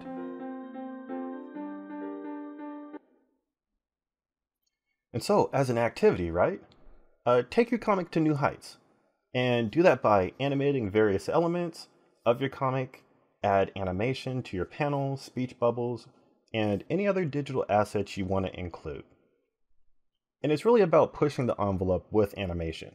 We showed you a flurry of different things from frame by frame animation to importing stuff in. You can add 3D animation if you want. And then once you finish animating on it, try to expand on it. Build on what you've learned by adding more sounds, by adding more animation, and particle effects if you like, uh, to make it just more immersive. It's really all about what stuff you could add to the experience so that you could make it more engaging and really just wow people with uh, the combination of the vision and the storytelling. And so as we wrap this up, right, we did a lot of different things. We, if you follow from the whole series, you were able to create a comic and then you're able to make the comic for the web, color it, do all that stuff. And then we were able to actually augment it. And so we explored what an augmented reality comic was. There's tons of examples that we have. We planned out our augmentation elements. We separated our individual comic elements. We set up Unity, imported Vuforia and engine. We set up an augmented reality image target. We added animation, you know, an animation timeline. We added sounds and voiceovers, added animated elements. We built 3D objects with Pro Builder. We created a portal with depth mask. We created an environment with Polybrush. We added elements to give it more depth. And then we explored other techniques to make the comic really come to life. And for me, you know, creating AR comics is a is such a great and wonderful opportunity and I really enjoy it. And so I hope that you enjoy making this and learning how to augment your comics, learning more about augmented reality, the possibilities of it. And uh, for me, as a lover of comics and animation and AR, this is a way to combine all of this into a very interesting and immersive experience that will give you the skills to do a whole lot of interesting stuff with. And so if you could pull this off and pull this off across all your comic books, man, only, only, you know, the world knows. And, you know, it, it, I just think that it it'll really change the game, especially as we get more AR glasses and as we get more tools to make hands-free AR so much more meaningful. And so print media and comics uh, and animation and AR, there's a there's a place for you there to bring stuff to life in an innovative way. And uh, I hope that this gave you a, a good reference point to show what is the possibilities for you.